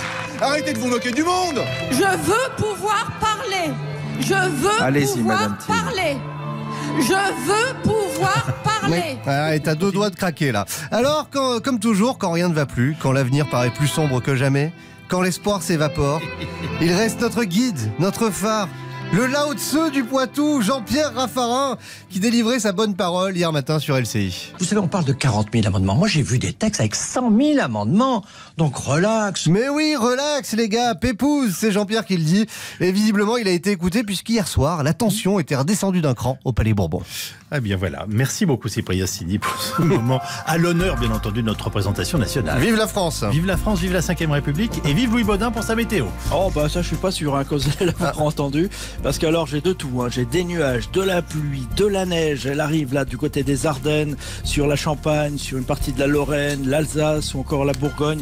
Ça va tomber sous forme de neige donc durant la matinée. Ça pourra tenir ici ou là, donc prudence dans ces régions. Et puis dans les autres, bah, c'est de la pluie. Hein. Il y en a sur toute la moitié ouest, là quasiment des Pyrénées au nord-Pas-de-Calais. Le vent, 100 km heure en ce moment sur la pointe bretonne du côté de Ouessant, à Belle-Île ou encore à Pamar. Vous connaissez la pointe de Pamar là sur euh, l'extrême ouest de la Bretagne? Et eh bien ce vent va aussi accompagner cette perturbation qui cet après-midi arrivera dans les régions de l'Est. Toute la moitié Est sera donc sous la pluie. C'est de la neige à basse altitude qui tombera dès oui, 300-500 mètres sur les Vosges, le Jura ou encore les Alpes. Cette neige va tomber en abondance, d'où un fort risque d'avalanche dans les Alpes en cours d'après-midi. Les régions du sud-est seront également concernées par le passage de cette perturbation, donc des nuages, de la pluie. À l'arrière, donc sur le nord-ouest, on retrouvera quelques éclaircies cet après-midi, mais avec encore des averses et toujours beaucoup de vent, 100 km heure près de la Manche, près de l'Atlantique, sur les reliefs, les Pyrénées, les Alpes ou encore le Massif central. Beaucoup de vent également sur les bords de la Méditerranée. Puis côté température, quelques gelées ce matin dans la moitié est et cet après-midi, bon, ça remonte un peu. 5 à 9 degrés dans les régions du nord et du nord-est on sera entre 9 et 14 degrés près de l'Atlantique et dans le sud-ouest, et encore 14 à 19 degrés près de la Méditerranée. Merci Louis. On circule mal en Ile-de-France. Moment où je vous parle, on dénombre 400 km de bouchons. RTL, il est 8 heures. RTL Matin, Yves Calvi. Le journal avec Jérôme Florin. Bonjour Jérôme. Bonjour Yves, bonjour à tous. À la une, bien entendu, cet incendie cette nuit à Strasbourg qui a fait 5 morts. 5 morts et 7 blessés dans un immeuble situé non loin de la gare. On vous retrouve tout de suite, euh, Yannick Collant. Vous avez des, des précisions oui, le feu s'est déclaré en pleine nuit à 1h16 du matin dans cet immeuble de 7 étages qui date des années 70. Un incendie qui s'est déclaré dans les parties communes et c'est ce qui a piégé les victimes, le commandant David Ernenwein des pompiers du Barin. Les habitants étaient euh, plutôt coincés dans leurs appartements parce que euh, bah, la cage d'escalier était totalement fumée donc ils ne pouvaient pas évacuer par eux-mêmes. Alors le bilan est très lourd puisque cinq personnes sont décédées, sept autres personnes qui ont été classées en urgence relative, principalement euh, des personnes intoxiquées qui ont été évacuées sur les hôpitaux strasbourgeois. C'est plutôt des gens qu'on a retrouvés dans les parties communes, en partie supérieure de l'immeuble. C'est voilà des gens qui ont vraiment été surpris par les fumées, ils ont voulu évacuer par eux-mêmes et puis le foyer étant en partie c'est les fumées montant dans les parties communes, ils ont été surpris par la toxicité des fumées. Alors 23 personnes ont également été secourues par les fenêtres, par les pompiers, mais le bilan est d'autant plus lourd que le foyer de l'incendie n'était pas très important. Les pompiers l'ont maîtrisé rapidement, euh, mais ce sont les habitants pris de panique, réveillés par les fumées, qui se sont en fait précipités dans le piège en tentant de s'échapper euh, par leurs propres moyens. Une enquête a évidemment été ouverte pour déterminer les causes de cet incendie. Merci beaucoup Yannick Collant pour toutes ces précisions en direct de Strasbourg. Elle a une également ce matin cet hôpital partiellement euh, à l'arrêt dans le département de l'Oise. L'hôpital de Creil, son service de réanimation est fermé pour deux semaines. C'est par là qu'est passé cet enseignant de 60 ans décédé la nuit dernière du coronavirus. On se demande toujours comment il a pu être contaminé puisqu'il n'a pas voyagé dans des pays à risque. Et, l'urgence à présent, euh, Gauthier de Lambugard, l'urgence, c'est de remonter le fil de toutes les personnes avec lesquelles il a pu être en contact. Effectivement, c'est le rôle de cette enquête diligentée par l'Agence régionale de santé des Hauts-de-France, comprendre le parcours de ce patient de 60 ans au sein de l'hôpital. Qui a-t-il côtoyé pendant les six jours passés ici? Le personnel a commencé à être dépisté, les médecins, les infirmières, les aides-soignants, ceux en contact avec le patient ont été répertoriés et normalement tous placés en quarantaine chez eux. Mais ce matin, pour cette infirmière, les équipes en contact avec ce professeur de technologie pourraient être bien plus nombreuses que l'on le pensait au départ. Il a dû passer par les urgences parce qu'il a dû appeler le SAMU et je pense qu'il n'était pas bien. Donc euh, SAMU, il passe par les urgences et quand il voit que vraiment le patient n'est pas bien et dans un état critique, il va en réanimation. Et puis, donc euh, oui, il a dû passer par les urgences, il a dû faire notamment des examens, peut-être un scanner. Donc euh, il y a aussi tout ce qui est imagerie médicale qui est concerné finalement. Donc ça fait beaucoup de monde qui aurait pu être en contact avec ce patient. Ah bah oui, il y a les infirmières, il y a les aides-soignantes, il y a les médecins, il y a les réanimateurs, il y a les médecins aux urgences. On est tous dans l'inquiétude, donc on va mettre des masques, on va mettre des gants, puis on va faire avec. Hein. Des patients subissent également des contrôles, tout comme les collègues et les élèves des quatre classes dont était chargé ce professeur du collège de Crépy en Valois. La compagne et les deux enfants de l'enseignant ont également été testés. Les résultats devraient être connus dans les prochaines heures. Gauthier de Lombugard à Creil pour RTL et un deuxième cas euh, inquiète, celui d'un homme de 55 ans actuellement hospitalisé dans un état grave à Amiens. À 8h20 ce matin, notre invité sera le professeur Eric Combe, il est chef du service maladies infectieuses à l'hôpital de la Pitié-Salpêtrière à Paris. C'est l'hôpital où est décédé euh, l'enseignant originaire du département de l'Oise. Et le sujet du coronavirus s'invite à Matignon en fin de matinée, euh, William Galibert, puisque le Premier ministre réunit les chefs de parti et présidents des, des groupes de l'Assemblée et du Sénat. Oui, les critiques s'accumulent contre la gestion du gouvernement. On a minoré le sujet, juge le patron des Républicains Christian Jacob. Son collègue député Éric Ciotti prend beaucoup moins de pincettes totalement irresponsable, d'après lui, d'accueillir hier des supporters italiens à Lyon. Euh, les mesures de quarantaine sont incohérentes, ajoute Marine Le Pen, qui demande des contrôles aux frontières.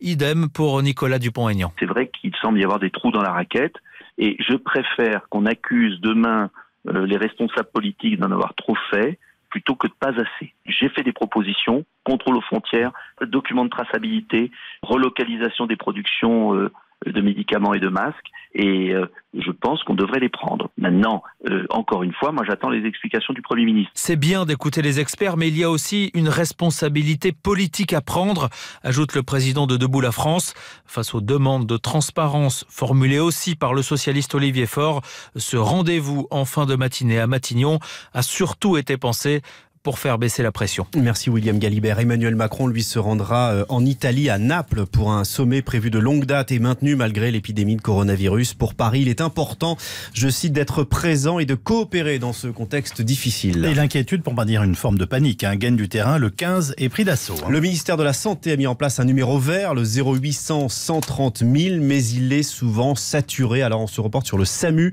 RTL en immersion au centre 15 de Perpignan. Patrick Tégéraud. Oui, bonjour, c'est les médecins du SAMU à l'appareil. Depuis le début de la semaine, le centre de régulation reçoit une centaine d'appels quotidiens concernant le coronavirus. La plupart sont inutiles. Pierre Roucol est le responsable de la régulation et le directeur adjoint du SAMU. Pour une personne qui est totalement asymptomatique, qui n'a pas été en contact avec un cas avéré ou même qu'on considère comme possible et qui a passé journée dans une zone à risque, appeler le 15 n'a aucun intérêt. Pour faire face à ce surcroît d'appels, l'effectif a été renforcé d'un assistant et d'un médecin régulateur. Oui, bonjour, docteur Rocco à du SAMU. Donc vous étiez en vacances à Singapour avec vos trois enfants et vous êtes parti de Singapour le 9 février. Tout le monde est asymptomatique, on a plus de 14 jours, pouvez être rassuré. Si j'ai répondu à vos questions, je vous souhaite une bonne journée madame. Au revoir. On est obligé de couper court parce que vous avez vu, ça aurait pu continuer. Ça, nous prend du temps et alors qu'un traitement d'appel, on va dire normalement, est de l'ordre de 3 à 4 minutes assez rapidement, là on peut passer du 10-12 minutes. On fait énormément de rassurance. C'est assez paradoxal parce que ces, mêmes personnes, ou une grande majorité, qui ont beaucoup d'angoisse vis-à-vis de coronavirus, ne sont même pas vaccinées contre la grippe. Mais il faut tout de même prendre chaque coup de fil en considération. Ce sont des appels plus pour des renseignements, mais qui sont traités effectivement avec la même rigueur. Euh, le principe de précaution veut qu'on ben, filtre au mieux tous ces patients et qu'on évite de passer à côté d'un cas qui potentiellement pourrait après euh, faire diffuser la maladie. Et si un cas suspect est détecté, la procédure prévoit qu'il faut contacter immédiatement un infectiologue de l'hôpital qui partage l'appel. En conférence à trois avec le patient, pour l'interrogatoire on va dire un peu plus poussé, et derrière, projection d'un transport sanitaire bien identifié avec des mesures spécifiques. Qui mènera le patient dans des chambres isolées déjà prévues dans l'hôpital Le cas ne s'est pas encore produit. Reportage à l'hôpital Purpan de Toulouse, signé Patrick Tégéraud. Pendant ce temps, partout dans le monde, des événements sont menacés. Les réunions du FMI et de la Banque mondiale prévues à Washington en avril pourraient être annulées. L'Arabie saoudite interdit temporairement l'entrée des pèlerins se rendant à la Mecque. Et puis des, des exercices militaires sont reportés en Corée du Sud. RTL 8h07. Municipal 2020. RTL près de chez vous. Si vous rêvez d'être maire, vous avez jusqu'à ce soir pour le faire savoir. Oui, puisque c'est aujourd'hui la date limite pour euh, déposer sa liste en préfecture. Les candidats ont jusqu'à 18h. Euh, RTL finit aujourd'hui son tour de France à Marseille, qui s'apprête à tourner la page Jean-Claude Godin aux manettes depuis euh, un quart de siècle. Une fin de mandat marquée par le scandale du mal logement. L'effondrement de deux immeubles vétustes rue d'Aubargne avait fait 8 morts et mis en lumière la présence à Marseille de 40 000 logements indignes. Et le scandale dans le scandale, c'est cette accusation grave qui vise les élus de droite. Six membres de la majorité soupçonnés de louer des studios insalubres. Bonjour Marie Mollet. Bonjour. En décembre, pour la première fois, l'un de ces élus a été condamné. Oui, imaginez un ancien garage à deux roues transformé en petit studio, un tableau électrique près de la douche et des moisissures qui rongent les murs. Jennifer Embon était locataire. Euh, il a commencé à avoir des petits champignons en fait qui s'étaient euh, installés derrière mon clic-clac. Et en l'espace de 10 jours, peut-être même pas, et ben, il y avait vraiment eu des champignons de partout, que ce soit dans, dans mes habits, dans mes chaussures, dans mon linge. Il n'y avait rien pour évacuer la fumée ou pour évacuer les vapeurs d'eau. Le propriétaire du logement n'est pas un obscur marchand de sommeil, c'est un élu, vieux compagnon de route de Jean-Claude Gaudin, adjoint au patrimoine, un statut dont il a usé selon Jennifer quand elle a cessé de payer le loyer. Oui, il en a joué. Le fait qu'il appelle son lieu de travail en se présentant en tant que l'adjoint maire de la ville de Marseille, c'est de l'intimidation, oui. Qu'il se soit vanté de son statut pour pouvoir me faire peur. André Malray a été condamné par la justice. Il a fait appel un élu épinglé, puis deux, puis six, des affaires en cascade qui mettent le doigt sur la plaie, celle de la gestion Godin en matière de mal logement. Benoît Gilles est rédacteur en chef du site d'investigation Mars Actu. Ce que ça raconte, c'est donc un effet de notabilité. À Marseille, être propriétaire même de logements indignes, bon, ça rapporte 5% par an, pourquoi pas. Et en parallèle, finalement, on n'agit pas contre l'habitat indigne. On a deux faces d'une même pièce, hein, des, des gens qui tirent de l'argent de l'immobilier et d'autre part qui n'agissent pas pour permettre d'offrir un logement décent euh, au plus grand nombre. Des affaires dont la candidate LR, Martine Vassal, n'avait pas besoin, elle qui tente de prendre ses distances avec l'héritage Godin. Je n'ai pas pris ces élus sur les listes municipales. Donc pour moi, c'est un non-problème, je le regrette. Il y a des personnes euh, que nous pensions euh, honnêtes. Je fais signer une charte que s'ils ne respectent pas les règles et les lois de la République, non seulement j'enlèverai les délégations, mais en plus je les ferai démissionner. Et la plupart des élus épinglés n'ont pas encore abandonné leur mandat. Un reportage signé Marie Mollet, envoyé spécial de RTL à Marseille. Marseille, où l'on retrouvera en direct Christelle Rebière et toute l'équipe d'RTL Midi à partir de midi et demi. Dans un court instant, euh, question autour des conditions de détention de Redouane Faïd. Le spécialiste de l'évasion est jugé aujourd'hui euh, pour un braquage. RTL 8h10. Chez Leroy Merlin, vous garantir le bon achat, on y travaille tous les jours. Alors quand vous nous dites Ma voisine a fait isoler ses combles pour 1 euro seulement. Mais moi, ces trucs-là, je n'y ai jamais droit. On vous répond Inscrivez-vous sur leroymerlin.fr. Nous isolons vos combles perdus, mais aussi le plafond de votre cave, de votre garage et de votre sous-sol pour 1 euro seulement. Et ça, sans condition de revenu. Leroy Merlin. Et vos projets vont plus loin. Sous réserve de faisabilité technique. RTL Matin. RTL 8h10, la suite du journal. Jérôme Florin, Yves Calvi. Redouane Faïd est donc jugé pour braquage. Coup d'envoi de son procès en appel aujourd'hui à Saint-Omer pour l'attaque d'un fourgon blindé en 2011 dans le Pas-de-Calais. Un procès qualifié de sensible tant l'homme est imprévisible et il s'est échappé deux fois de prison. Il est aujourd'hui affaibli par une grève de la faim et ses avocats vont demander un renvoi. Alors quelles sont aujourd'hui les conditions réelles de détention de Redouane Faïd et est-ce qu'on a tout fait euh, pour éviter une nouvelle évasion? Eh bien c'est la question de 8 Et c'est avec vous, Thomas Proutot, bonjour. Bonjour. Est-on sûr qu'il ne peut plus s'évader? Oui, d'abord parce que Redouane Faïd est incarcéré à la centrale de Vendin-le-Vieil, une des deux prisons les plus sécurisées de France, une forteresse pénitentiaire en fait entièrement pensée pour accueillir les détenus particulièrement dangereux. Depuis son ouverture en 2014, aucune évasion n'a eu lieu, aucune tentative même. Mais ce n'est pas tout. À l'intérieur de Vendin, Faïd, le roi de la Belle, a été placé au quartier d'isolement, une prison dans la prison, ce qui veut dire qu'il ne croise jamais aucun autre détenu, qu'il est systématiquement menotté avant chaque sortie de cellule grâce à un passe-menotte sur sa porte, que quatre gardiens minimum en tenue d'intervention escortent ses rares déplacements, qu'il est fouillé à nu à chaque retour et que ses parloirs, enfin, ont lieu au travers d'une vitre en plexiglas via un hygiaphone, des conditions ultra strictes dénoncées par ses avocats. On est emmuré vivant, disait Redouane Faïd dans une interview cet automne. C'est pour cela qu'il a entamé une grève de la faim. Est-ce que cet isolement peut être euh, prolongé indéfiniment? Alors en théorie, non. Au-delà d'un an, et c'est déjà le cas, c'est la ministre de la Justice elle-même qui signe le renouvellement jusqu'à la limite de deux ans. Au-delà, la prolongation ne peut être que exceptionnelle et spécialement motivée, dit la loi, au risque d'une condamnation par la Cour européenne des droits de l'homme. La question du 8h avec ce matin Thomas Proutot. On trouve de tout au salon de l'agriculture, même des avocats. Et on ne parle pas du fruit, mais bien des professionnels du droit qui ont leur stand dans les allées de la porte de Versailles. Une présence qui illustre bien la jungle des réglementations à laquelle sont confrontés les agriculteurs, Jacques Serret. Ils ne sont pas en robe noire, mais ils sont bien là. Le droit est partout. Aujourd'hui, il y a bien sûr les bons ruraux, mais il y a également tout le commerce agricole. Installés sur leur stand au milieu des syndicats agricoles, les avocats proposent des consultations gratuites. Une première au salon, symbole d'une réglementation de plus en plus complexe pour les éleveurs, selon maître Jean-Paul Montenot. Autrefois, ils connaissaient mal le code rural. Aujourd'hui, ils doivent le connaître très bien. Ils doivent connaître le code de commerce. Et puis maintenant, ils doivent connaître bien le code de l'environnement. De quoi rapidement s'y perdre. Adrien Lefebvre, éleveur laitier dans les Ardennes, s'entretient auprès de maître Carole Froli. Je ne suis pas spécialement au courant de la législation, qu'elle soit euh, au niveau statutaire, au niveau fiscal, social euh, et juridique.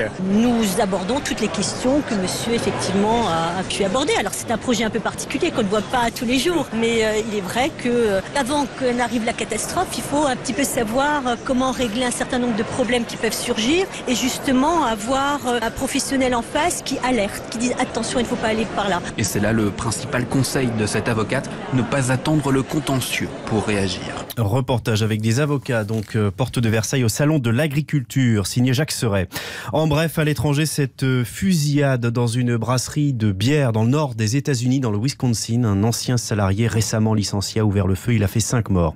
De violents affrontements euh, hier entre la police et les habitants en Grèce sur les îles de Lesbos et de Chios. Les manifestants protestent contre la construction de nouveaux camps pour migrants qui sont près de 40 000 aujourd'hui à s'entasser dans des conditions sordides. Alors, le match a donc bien eu lieu hier soir à Lyon et en présence des supporters de la Juve, malgré l'épidémie de coronavirus. Hein. La rencontre OL Juventus de Turin en huitième de finale aller de Ligue des Champions remportée. C'est un exploit par les Lyonnais 1-0 contre des Italiens donnés largement favoris. But de Lucas Touzard à la 31e minute. L'entraîneur Rudy Garcia est content. Très content de la victoire, très content euh, du match aussi, même si on a eu deux, visages. Première période de, de, très haut niveau, on s'est vraiment mis à la hauteur de l'événement et puis la deuxième période a été beaucoup plus compliquée. Mais j'ai aimé le fait qu'on s'accroche, qu'on soit euh, solidaire et puis qu'on défende bec et ongle notre but d'avance. Maintenant, ce qu'il faudra, c'est aller marquer au Juventus Stadium si on veut espérer se, se qualifier. Mais voilà, faut rester humble. On n'est qu'à la, on est qu'à la mi-temps des, des, deux matchs. La joie contenue de oui. Rudy Garcia avec Willy Maisonas. Match retour programmé le 17 mars à Turin. Vous l'avez déjà vu sourire? Non, mais même quand il est pouvoir, il parle comme ça. C'est ça qui est formidable chez lui. C'était donc le journal de Jérôme Florin. RTL 8h15. À 8h35, RTL, vous êtes comme ça, un brin de nostalgie et beaucoup de souvenirs. Patrick, la première rame de TGV inaugurée au début des années 80, euh, va partir en retraite. Une tournée d'adieu est organisée dans les gares de France et les souvenirs remontent inexorablement. Quand on rentre dans la cabine, elle est quasiment dans son état d'origine. Donc on a ce marron très années 80, l'ergonomie datée des années 80 et le poids de l'histoire, oui, on l'a forcément parce que ces rames sont mythiques, 40 ans de vie, de carrière, des millions de kilomètres. Forcément, on peut être que fier et admiratif face à ce bijou de technique. La tournée d'adieu de la première rame de TGV baptisée Patrick, ce sera à 8h35. Dans RTL, vous êtes comme ça. Bonjour Michel. Bonjour Yves. Ce matin, des conseils pour être en pleine forme toute la journée. Oui, c'est le mal du siècle, mais ce matin, après ma chronique, vous aurez tous les éléments en votre possession pour être au top toute la journée. C'est un bonheur. Et bienvenue à Virginie Garin. Bonjour Yves, bonjour à tous. Vous avez trouvé au Salon de l'Agriculture une solution pour remplacer le glyphosate Oui, avec quatre pattes et des sabots, c'est le cheval. eh bien, on scelle. Allez, à tout de suite.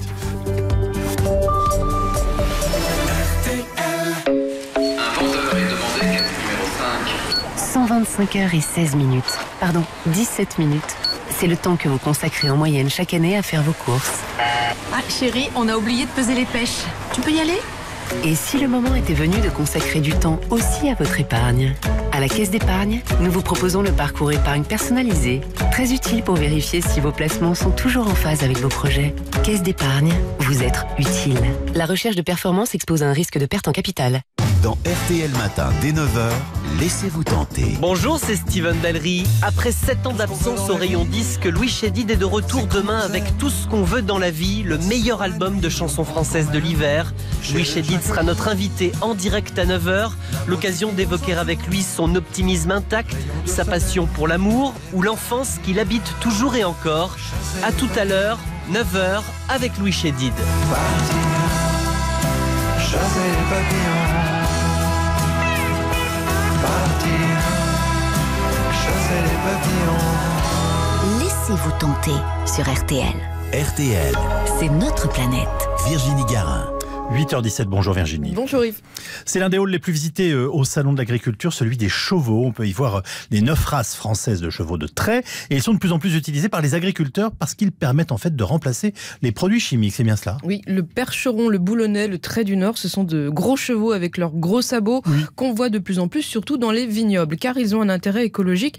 Alors quand on parle d'interdire le glyphosate, les agriculteurs répondent qu'à la place, ils vont devoir désherber à la machine, donc sortir le tracteur. Seulement voilà, c'est très difficile dans certains terrains en pente, dans certains vignobles, c'est même impossible. Donc des vignerons ont décidé d'utiliser le cheval. D'ailleurs, c'est quoi? C'est le cheval qui désherbe Il sert à quoi exactement? Alors lui, il tire un outil, une griffe qui travaille le sol. Ça permet de semer des cultures entre les vignes, du pois, du seigle, qui prennent la place des mauvaises herbes, donc pas besoin de glyphosate, et qui en plus aèrent le sol avec leurs racines et l'enrichissent. Alors c'est à la fois une énergie finalement qui ne pollue pas, en tout cas qui dégage beaucoup moins de carbone qu'un tracteur, et c'est de l'engrais naturel. Donc il y a le cheval, on l'a bien compris, mais est-ce que l'âne peut aussi être une solution Oui, l'âne, c'est pour le maraîchage, les salades. Les légumes demandent un peu plus de précision, donc les gros sabots du cheval, ça peut faire 20 cm de diamètre, c'est un peu délicat. Et il y a des maraîchers qui utilisent des ânes, car ils ont de petits pieds. Dites-moi, mais oui, des petits sabots. Euh, J'espère que ça permet de relancer l'élevage des chevaux et des ânes dans notre pays. Alors, en tout cas, ça permet de maintenir les races. Alors, ce qui soutient l'élevage, pour tout vous dire, c'est surtout la viande. Les chevaux de trait sont aussi élevés pour leur viande et exportés surtout vers le Japon. Mais leur nouvelle mission dans les exploitations agricoles contribue à développer les races. Et d'ailleurs, deux écoles sont nées en France pour former les futurs propriétaires de chevaux. L'école du cheval vigneron à Bordeaux et de l'âne maraîcher à Villeneuve-sur-Lot. Alors, si vous voulez admirer les chevaux, ils sont dans le hall 6 au Salon de l'Agriculture. Et hier, il était noir de monde. Merci beaucoup Virginie Garin. On vous retrouve sur RTL.fr puis aussi sur le stand RTL dans le hall 2-2 du Salon de l'Agriculture au pied d'une magnifique réplique de la Tour Eiffel en fruits et légumes. Et voilà, vous allez y voir plus clair. Enfin, pas forcément de près. Si vous êtes né avant 78, venez tester gratuitement votre vue chez Atoll. RTL Matin, Ça va beaucoup mieux avec Michel Simès. Bonjour Michel. Bonjour Yves. Ce matin, vous vous attardez sur un mal planétaire, hein, la fatigue, et vous avez quelques conseils à nous donner en fait pour tenir la distance. Ouais, je suis fatigué. Voilà. Combien de fois avez-vous prononcé ou entendu ces mots? Le fait est que la fatigue est la plainte la mieux partagée du monde. On en connaît les causes, hein, le manque de sommeil bien sûr, mais aussi les problèmes financiers, le surmenage, les conflits relationnels, la charge de travail, le stress généré par les technologies numériques et tant d'autres. À chaque problème, à chaque personne correspond une solution, mais on peut quand même essayer de faire le tri entre ce qu'il faut faire et ce qu'il faut éviter de faire pour réduire les risques d'avoir l'impression de vivre sur les rotules. Donc ce que vous nous proposez, ce sont des choses à avoir en tête au quotidien si on veut en gros augmenter ses chances d'être en forme. Voilà, on va commencer par le sommeil. Il faut dormir au minimum 7 heures par nuit. Ce que je vous dis là est théorique, hein, mais franchement, si vous avez la possibilité d'organiser votre vie pour qu'il en soit ainsi, n'hésitez pas. Parce que tant de problèmes découlent du manque de sommeil. L'obésité, le diabète, certaines maladies cardiaques, l'augmentation du risque d'accident vasculaire cérébral. Donc 7 heures minimum, 7 heures auxquelles, dans l'idéal, vous ajoutez une sieste d'environ une demi-heure dans la journée. Si c'est possible, là encore, saisissez l'occasion, mais faites-le entre 13 et 15 heures après avoir déjeuné. Précisément, le déjeuner, dites-nous ce à quoi euh, ressemble le repas idéal. Ah, Pas de repas adapté à nos besoins sans légumes, qu'ils soient crus ou cuits. Il vous faut aussi une portion de féculents, pâtes, pain, pommes de terre, etc. Et une source de protéines, viande, œufs ou poisson.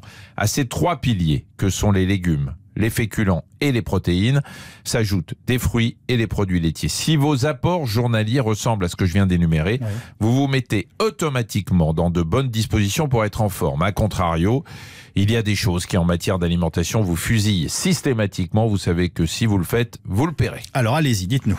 Alors à éviter donc, sauter le petit déjeuner, boire plus de 5 cafés par jour, boire du vin à midi, préférer les sodas à l'eau claire, manger trop gras le soir Mhm. Et déjeuner ou dîner en moins de 20 minutes. Voilà, je vous ai donné l'essentiel. Maintenant, c'est à vous de voir. Bon, je suis étonné parce que vous n'avez pas encore parlé du sport. Ah bah, attendez, j'y viens, j'y viens. Dans la journée, vous devez trouver le moment de marcher pendant une demi-heure minimum. Par ailleurs, faites en sorte de caler au moins deux séances de sport par semaine. S'il vous reste un peu de place pour quelques séances de gainage abdominal, ne vous faites pas prier. Et pour finir, il y a la douche. Comment ça, la douche? Bah oui, on prend souvent des douches trop chaudes et trop longues. Quand la température de l'eau est supérieure à 39, ça fatigue l'organisme. Donc à l'avenir, tournez un peu plus le robinet bleu et un peu moins le robinet rouge. Et surtout, ne restez pas 20 minutes sous l'eau. Les choses sont claires. Merci Michel et à demain. À demain. Passez une bonne matinée sur RTL. On a tellement de choses à se dire. RTL Matin, Yves Calvi, 8h22. Inutile de vous rappeler que l'épidémie est désormais mondiale. Chaque jour, de nouveaux pays sont infectés par le fameux Covid-19. C'est la souche du coronavirus en provenance de Chine. Alors, deux mois après les premiers cas en Chine, y a-t-il vraiment matière à s'inquiéter? Notamment pour la France. Notre invité ce matin, le professeur Éric Combe, il est chef du service des maladies infectieuses et tropicales à l'hôpital de la Pitié-Salpêtrière à Paris. C'est dans son service qu'un patient est décédé dans la nuit de mardi à mercredi. Euh, on fait le point avec lui dans un tout petit instant. On refait la télé Présenté par Jade et Eric Dussard. sur RTL. Qu'il était doux le temps où Michael Youn nous réveillait tous les matins avec son mégaphone. Eh bien la bonne nouvelle, c'est que le Morning Live revient bientôt sur M6. Mais le soir, on va tout vous expliquer en exclusivité avec Michael Youn, notre invité ce week-end. Il nous dévoilera les coulisses de ce retour télé. J'espère qu'il s'est calmé parce que sinon vous le connaissez. hein. Après son passage, ça va plus être on refait la télé, mais on refait le studio. Bah écoutez, on prend le risque. Soyez là, chers auditeurs, pour nous soutenir. Ce sera samedi à 11h30. RTL Matin. 6 minutes pour trancher. Faut-il s'intéresser du ret- s'inquiéter du retour du coronavirus en France? Bonjour, professeur Eric Combe. Bonjour. Vous êtes chef du service des maladies infectieuses et tropicales à l'hôpital de la Pitié-Salpêtrière à Paris. C'est dans votre établissement qu'un enseignant originaire de l'Oise est décédé dans la nuit de mardi à mercredi. Un patient dont on ignore encore euh, l'origine de la contamination. Euh, on, on a d'abord une première question à vous poser ce matin. C'est comment vont vos équipes et est-ce que vous avez pris des dispositions particulières depuis ce décès pour elle et pour la vie dans cet hôpital? Bah écoutez, euh, d'abord je tiens à préciser que le patient n'est pas décédé dans mon service, hein, même s'il est décédé effectivement à la Pitié-Salpêtrière, il est décédé dans le service de réanimation du professeur euh, Alain Combe. Euh, par, en ce qui concerne les, les équipes, bah écoutez, euh, oui, il y a un certain euh, stress, fatigue, mais ça va. Je vous sens quand même accablé dans la façon dont vous nous parlez de la situation. Ah non, pas du tout, non, non, euh, ben, on parle quand même d'un patient qui est décédé, hein, c'est... Et est-ce qu'il est clair aujourd'hui qu'il faut craindre d'autres contaminations? Bah écoutez, oui, je pense que la situation est assez claire. Le décès de ce patient qui n'avait aucun contact euh, particulier ou précis avec la Chine, ainsi que le cas de l'autre patient euh, de l'Oise, montre qu'il y a des chaînes de transmission autochtones en France. Euh, sans lien avec la Chine apparent en tout cas, ou même avec l'Italie. Et donc, euh, on, va vivre une situation hein, proche de celle qu'on vit en Italie. Alors c'est ce que j'allais vous dire. C'est euh, ça n'a pas de lien a priori avec euh, euh, l'Italie, mais on, on va avoir un schéma et on va se retrouver dans une situation qui ressemble beaucoup à ce que vi- vivent de, viennent de vivre nos voisins. Alors après, ça dépendra de la réaction des autorités locales, évidemment, euh, des autorités, euh, pardon, politiques euh, du pays. Mais en ce qui concerne la situation médicale, oui, il est très probable qu'on vive l'apparition d'une situation à l'italienne avec de nombreux foyers à l'intérieur du pays. Est-ce que ça veut dire qu'il faut maintenant faire attention quant au fait d'amener tous ces malades dans, nos hôpitaux et qu'on risque de les engorger et d'une certaine façon de les empêcher à un certain moment de travailler? Alors, le, vous avez raison de poser cette question, elle est importante. Euh, il y a effectivement un risque d'engorgement possible des hôpitaux, mais il y a surtout un risque d'amplifier l'épidémie euh, dans les hôpitaux à partir des salles d'attente, par exemple, où les patients peuvent rester assez longtemps et se contaminer les uns les autres, comme on l'a vu dans d'autres circonstances et dans d'autres épidémies. Et du coup, alors ce matin, vous dites quoi aux malades qui ont un nez qui coule et qui sont peut-être en train de démarrer euh, une, une un rhume euh, tout, tout bête ou, ou le début d'une grippe, ce qui est plus grave? Bah écoutez, euh, s'ils ont que le nez qui coule, ça n'a rien de très très grave euh, et on ne vient pas à l'hôpital pour un nez qui coule. Ça peut tout à fait être géré euh, correctement en pratique de ville. Euh, par contre, il faut euh, venir consulter quand il est vraiment nécessaire d'aller consulter à l'hôpital, c'est-à-dire avec une fièvre, des difficultés respiratoires. Donc, donc, vous dites à, ceux qui n'ont pas une forme grave, ou en tout cas qui se sentent pas bien, mais qui n'ont- ne sont pas dans un, euh, une véritable inquiétude, qu'il ne faut plus qu'ils engorgent les services d'urgence et ou, ou- ou nos hôpitaux. Bah écoutez, oui, absolument, c'est le message fondamental à, à retenir. Euh, mais vous savez, le- apparemment, les Français se précipitent pas actuellement aux urgences, euh, qui sont déjà suffisamment occupés comme ça par ailleurs. Donc il y a une certaine prise de conscience, euh, je pense, de la population par rapport à ce risque. Vous pensez qu'on a été trop alarmiste? Non, je pense qu'on n'a pas été trop alarmiste. euh, On a été, euh, euh, on a informé les gens correctement. Non, on n'a pas été trop alarmiste. Que- Quelles sont les pistes au moment où nous parlons scientifiques pour expliquer cette contamination? Vous parlez de la contamination du, du patient qui vient de décéder Oui. Euh, bah écoutez, euh, il est très probable qu'à un moment ou à un autre, au cours des dernières semaines, il y a un touriste chinois euh, euh, qui soit euh, rentré, euh, qui ait infecté euh, des patients, euh, qui a infecté des personnes en France, par exemple, comme c'est le cas du médecin qui avait été hospitalisé chez nous il y a quelques semaines. Puis ensuite, euh, bah, il y a une chaîne de contamination euh, qui démarre. Une personne en contamine deux ou trois dans, dans son entourage. Une de ces deux ou trois va en elle-même en contaminer deux ou trois. Et vous avez un ainsi une chaîne de transmission qui démarre. Et puis à un moment, il y a un cas euh, grave qui émerge du lot. Et c'est celui qu'on repère.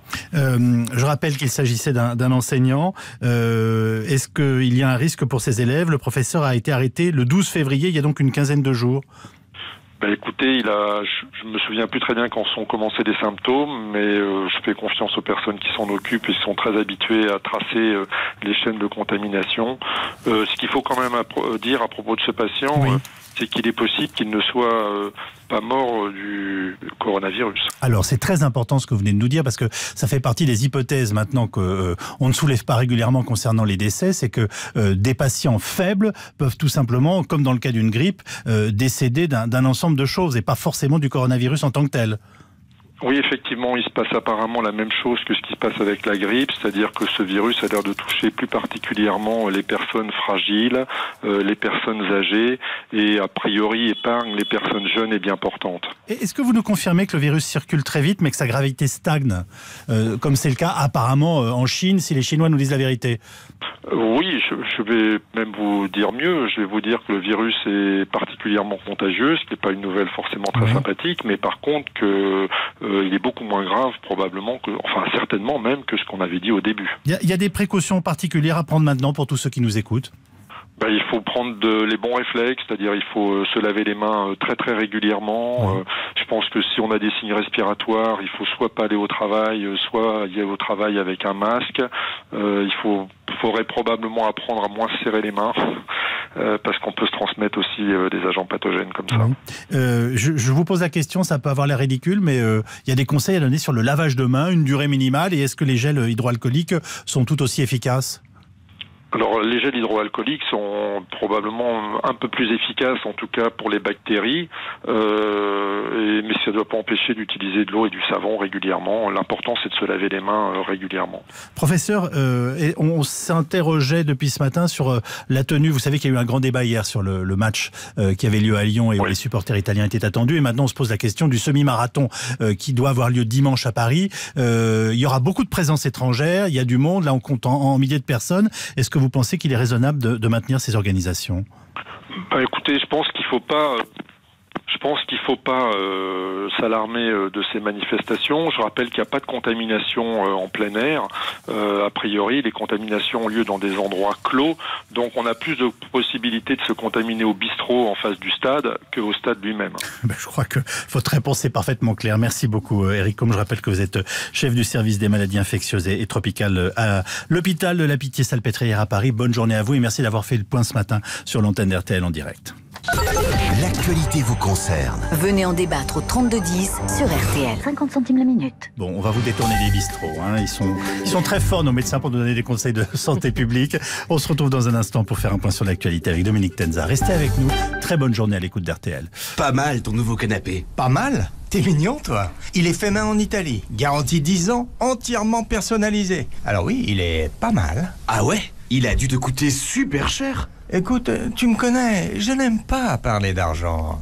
En ce moment, chez Poltron et Sofa, c'est tout nouveau, tout promo. Réduction sur toutes les nouvelles collections et jusqu'à moins 70% sur la collection Lumière. N'attendez plus, la livraison est offerte. Poltrone Sofa, authentica qualità. Et voilà. Authentica qualità, qualité authentique. Avec Carrefour et Carrefour Market, vous avez le pouvoir de payer moins cher. Profitez de prix imbattables sur des produits frais. Imbattables Oui, par exemple, la côte de bœuf Origine France 3 étoiles avec os à griller ou à rôtir est à seulement 8,90€ le kilo. Et si vous trouvez moins cher ailleurs, on vous rembourse deux fois la différence. Alors là, je dis oui. Et je dis pas souvent oui. Dès demain et jusqu'à dimanche chez Carrefour, Carrefour Market et leur drive, la côte de bœuf Origine France 3 étoiles avec os à griller ou à rôtir est à seulement 8,90€ le kilo. Carrefour, on a tous droit au meilleur. Viande bovine, modalité magasin participant ouvert dimanche sur carrefour.fr.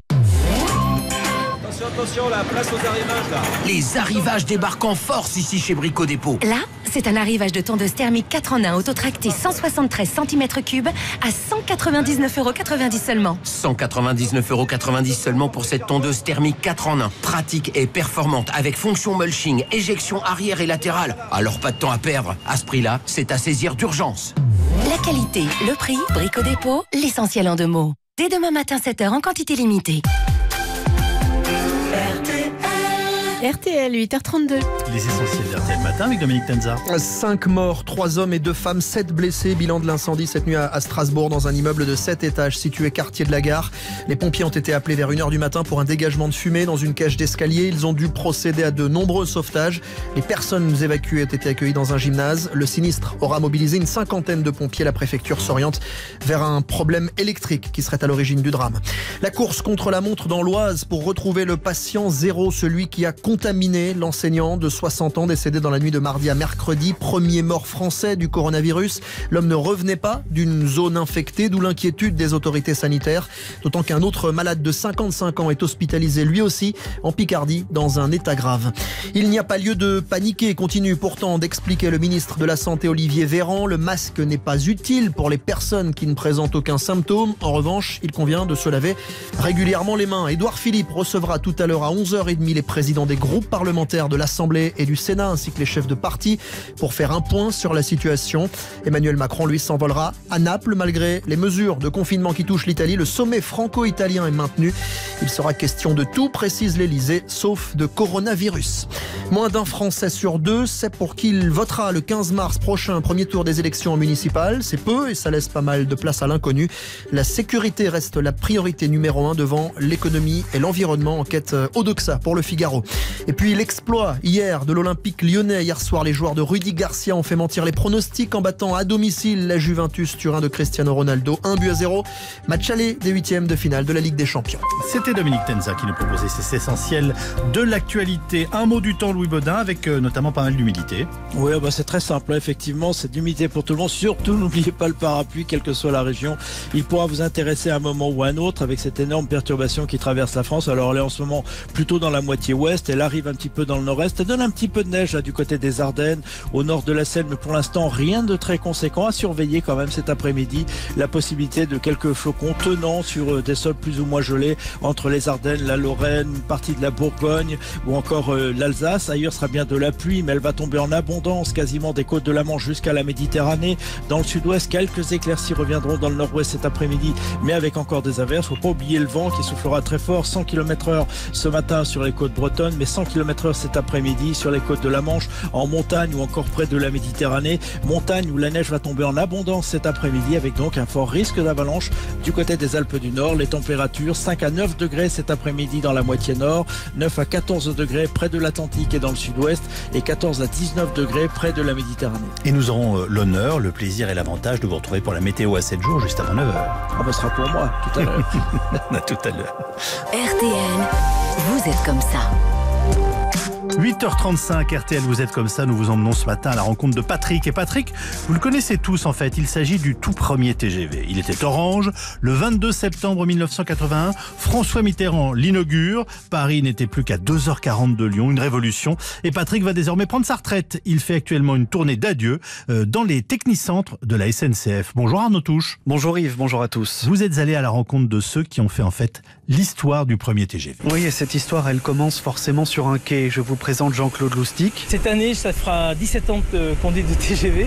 Avec son gilet orange, siglé SNCF, il adore faire le show. Eh bien, nous sommes devant la première rame TGV Sud-Est, la rame 01, qu'on a appelée Patrick, qui était en fait, euh, pour la petite histoire, un des prénoms des fils d'un des chefs traction de l'époque. Il est actuellement conducteur sur la ligne Sud-Est. C'est vraiment la première rame TGV. C'était le premier train à grande vitesse en France et en Europe. Moi, j'étais gamin et ça, ça, ça, ça ravive des souvenirs euh, extraordinaires. Vous avez pu la conduire déjà? Oui, maintes fois, tout à fait. Et pour lui, Patrick est un monument. Voilà, on a eu Concorde, le France, et puis on a eu le TGV. Les passionnés, franchement, sur ce quai, il y en a partout. Et parmi eux, il y en a un qui dénote avec son uniforme bleu d'époque.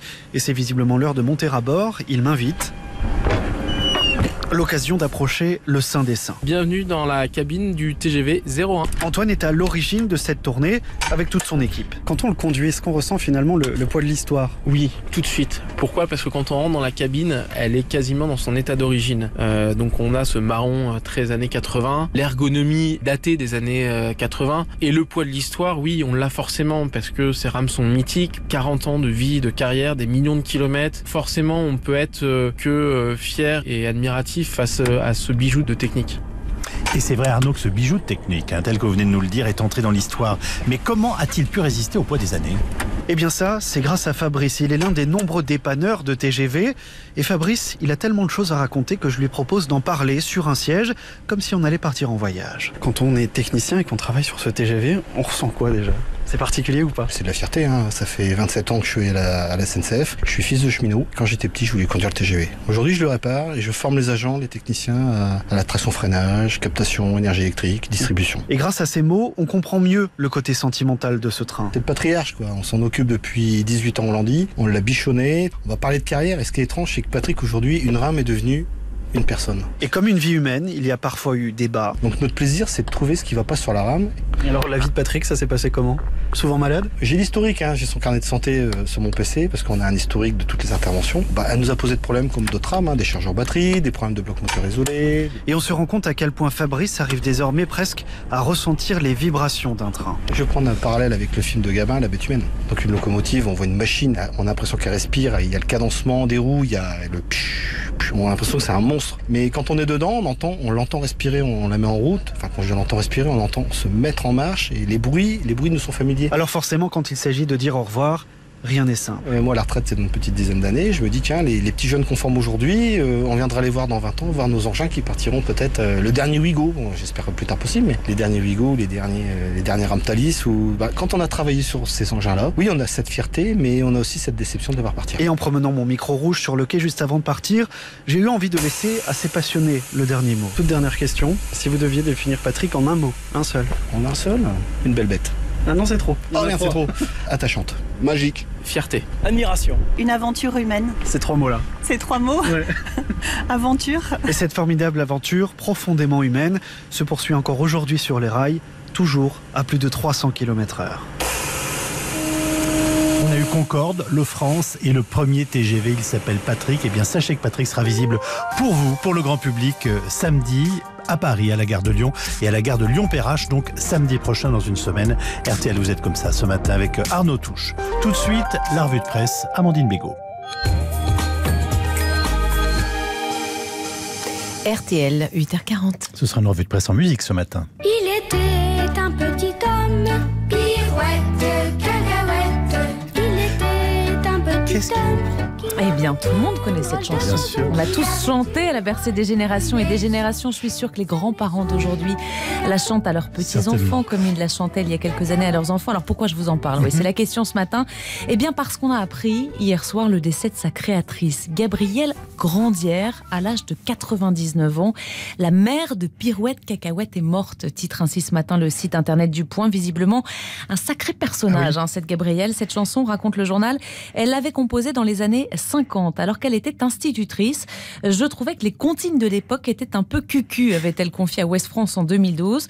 Alors un jour, eh bien Gabrielle s'est lancée. Ça s'est fait comme ça, sur un coin de table, en 10 minutes. Elle l'avait expliqué au quotidien Le Maine Libre il y a quelques années. Écoutez. Pourquoi j'ai mis pirouette et cacahuète? Je dansais absolument rien. J'ai fait n'importe quoi. Hein Euh, ce qui me venait à l'idée.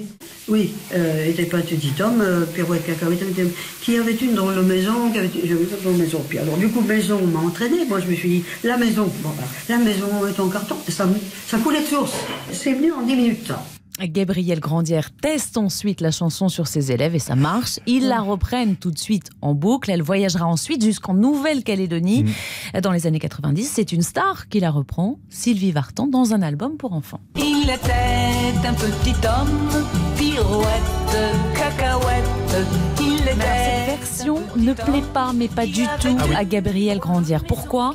Eh bien parce que deux couplets ont été rajoutés. Vous savez, le, le moment où il est question de l'avion à réaction. Ils m'ont rallongé ça de deux couplets que j'ai pas fait. Euh, Elle m'a rajouté les deux couplets avec un ar- ça pour ça rime pas.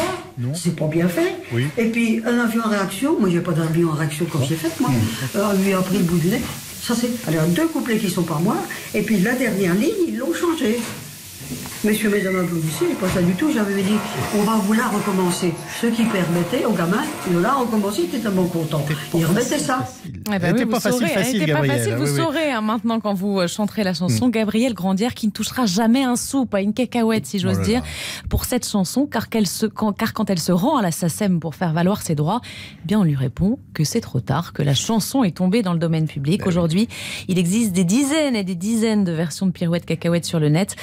Certaines comptent parfois plusieurs dizaines de millions de vues. Alors à propos de chansons, vous nous conseillez aussi ce matin de lire Paris Match. Oui, avec une interview rare et, et touchante dans la famille Dutronc. Je demande le père, Jacques, et le fils Thomas. L'hebdomadaire les a rencontrés en Corse, à Monticello, hein, au nord de l'île Rousse, là où Jacques Dutronc vit au milieu de ses chats. Alors il est question de musique, forcément. Du jour aussi de la naissance de Thomas. J'étais chez Françoise, raconte Jacques. Elle a ressenti les symptômes et est partie à l'hôpital avec sa mère. Moi, j'ai préparé une fête au cas où, dit-il. Je n'avais pas besoin de la naissance de Thomas pour ça, mais j'avais là un sacré alibi. Quelques heures plus tard, Jacques Dutronc arrive à l'hôpital américain. Bonjour, dit-il, je viens voir mon fils. Ils me font passer devant plein de bébés. Et là, je dis, tiens, je veux celui-ci. L'infirmière lui répond euh, sérieusement, ah ben non, vous, c'est pas celui-ci, vous l'avez appelé Thomas, c'est celui-là.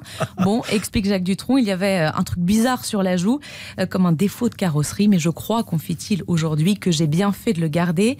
Dutronc mettra un an avant d'emménager avec Thomas et, et Françoise Hardy. Vous savez pourquoi? Eh Bah bien, non. à cause de, de Sumo, son guépard. Ah, eh ben oui, infa- impossible de faire rire euh, tout ça. C'est savoureux. Thomas lui raconte qu'à la maison, quand il était petit, il n'y avait pas de musique ou très peu. Ça paraît étonnant hein, Hmm. quand on connaît euh, le pédigré des parents. Jacques, d'ailleurs, pensait qu'il serait pilote de ligne. Tiens, tiens, encore une histoire d'avion. On y revient. Un avion réaction, pirouette, Version interdite par Ça, c'est Gabriel. la version Faites interdite par Gabriel. vous oui. faites. Mais moi, à mon fils Gabriel, je lui la chante, cette chanson. Ah bon. Mais avec l'avion en réaction Bah oui, du coup, je Bon, savais ben pas. voilà, Maintenant, je ferai attention. Version apocryphe, je vous le rappelle. L'histoire est terminée. On va retrouver Laurent Gérard et toute son équipe demain et on revient samedi Lego. Applaudissez, messieurs, mesdames, applaudissez. RTL 8h44. La bonne idée but pour le Beautiful Winter, moins 100 euros sur un aspirateur Dyson. En ce moment chez But, l'aspirateur balai Dyson V8 Motorhead passe de 449,99 à 349,99 Et le kit brosse est offert. Limité à 2500 pièces. Beautiful Winter, le merveilleux hiver de But. Vous êtes diabétique de type 2 et devez mesurer votre glycémie régulièrement. Et vous aimeriez bien un petit coup de pouce pour vous simplifier la vie. Suivez le guide. Avec le nouveau lecteur AccuCheck Guide de Roche Diabetes Care, contrôlez précisément votre glycémie. Et sans faire tomber vos bandelettes, grâce au flacon anti-renversement. Renseignez-vous vite sur accucheck.fr. AccuCheck Guide est un dispositif médical de diagnostic in vitro. Pour plus d'informations, consultez la notice. Demandez conseil à votre médecin ou à votre pharmacien. C'était un message de Roche Diabetes Care France. Intermarché vous propose d'écouter 70% d'économie. Je suis sûre que t'es pas capable de sauter cette claque d'eau. Si, je suis trop cap. Non, t'es pas cap. Cap, pas cap, cap. Pour l'achat de deux bidons de lessive liquide Sensitive Skip à 14,99€, bénéficiez de 70% du montant dépensé en avantage carte. Et c'est seulement dans votre Intermarché. Intermarché, tous unis contre la vie chère. Jusqu'au 1er mars, 2 fois 1 litre 8, soit 4,16€ le litre. Modalité sur intermarché.com. Produit dangereux, respectez les précautions d'emploi. Pour leur 120e confrontation, les retrouvailles s'annoncent explosives entre les deux frères ennemis du foot français, l'Olympique lyonnais et l'AS Saint-Etienne. Dans ce derby historique qui n'a rien d'une fête des voisins, la défaite est interdite, seule la victoire compte. Suivez le choc de Ligue 1 Conforama entre l'OL et l'AS Saint-Etienne, dimanche à 21h, en direct et en exclusivité sur Canal+. Rendez-vous sur boutique.canalplus.com. RTL Matin. Avec Yves Calvi. Bonjour Laurent Gérard. Bonjour Yves. Bonjour Mademoiselle Jade. Ah, bonjour tous les deux. Bonjour Monsieur Calvi. Depuis qu'il est sorti de prison, Patrick Balkany est assigné à résidence dans sa propriété du moulin de Cossy à Giverny. Il est avec nous au téléphone. Bonjour Monsieur Balkany. Enfoiré Enfin, je vous en prie, Monsieur. Mc- Pardon, c'est pas à vous que je parlais, c'est Ah au bon paparazzi caché derrière la haie qui essaie de me prendre en photo. Isabelle, ramène-moi le fusil. D'accord. Et donc, comment se passe cette euh, résidence? Mal. J'ai pas le droit de sortir. Résultat, Oui. je passe mes journées aérées entre mon jacuzzi et ma piscine en buvant mes grands crus. C'est de la maltraitance, madame, de la maltraitance. Bon, c'est tout de même mieux qu'à la prison de la santé, non? Ouais, ça se discute à la santé au moins. J'avais mes copains, je pouvais jouer à la belote avec Dédé la sulfateuse et Riton la torgnole. Mais là, je m'ennuie. bah, Vous n'avez qu'à jouer avec votre femme et son assistant. Qui ça, Bah oui. Le célèbre grinderie. Bah oui. C'est- C'est plus son assistant, elle l'a viré. Elle a eu peur qu'il lui refile le coronavirus. Quelle horreur C'est épouvantable. Je vois. C'est dommage parce que Grinderie, pour le coup, ça l'aurait pas dérangé d'être cantonné. Bon, enfin bon. Je me console en me disant que je suis au moulin de Giverny. Un moulin, c'est rassurant. Ah bon, mais pourquoi? Parce que le moulin, historiquement, c'est l'endroit où on amène son blé. Le salon de l'agriculture 2020 a ouvert ses portes samedi et notre station a suivi de près comme chaque année cet événement, y compris bien entendu l'équipe des grosses têtes sous la férule débonnaire de notre ami Laurent Ruquier.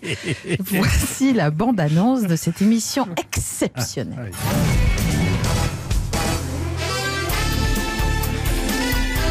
Bonjour C'est Laurent Ruquier, bienvenue dans cette émission spéciale Salon d'agriculture, une émission baptisée Les grosses têtes de veau. Avec aujourd'hui une grosse tête qui a l'air bête à mâcher du foin mais qui ne mâche pas ses mots, Christina Cordula Ah oui, vraiment, mon chéri, euh, c'est magnifique. hein, C'est c'est mon, c'est mon Jacques, c'est fantastique. c'est- bon, c'est bon, tu l'as déjà dit. Une grosse tête qui chante comme une poule de luxe poursuivie par un tracteur dans une basse-cour. Alors là, d'emballe Ah ouais, ça suffit, vous allez faire tourner le lait. Euh, une grosse tête qui a longtemps été une petite bête qui monte, qui monte dans les avions et qui est maintenant une bébête de scène, Jean-Philippe Janssen. Ah ben, oh ben, ma mère euh, a dit comme ça qu'avant que, que de traire une vache, fallait bien vérifier si c'était pour un taureau la vache. Hein. Ah, qu'il est con Une grosse tête qui peut tout jouer sur le même ton. Muriel Robin. Que je, peux tout, que je peux tout, que je peux tout jouer. Ah ben, ah ben, je vais jouer la paysanne alors si c'est un, un artichaut. Ah ben, en tout cas, c'est pas un artifroid, hein. Oh, elle est nulle et enfin une grosse tête de veau qui parle comme un livre, ou euh, comme on dit en anglais, comme un book, même un vieux book. Pierre Bénichou.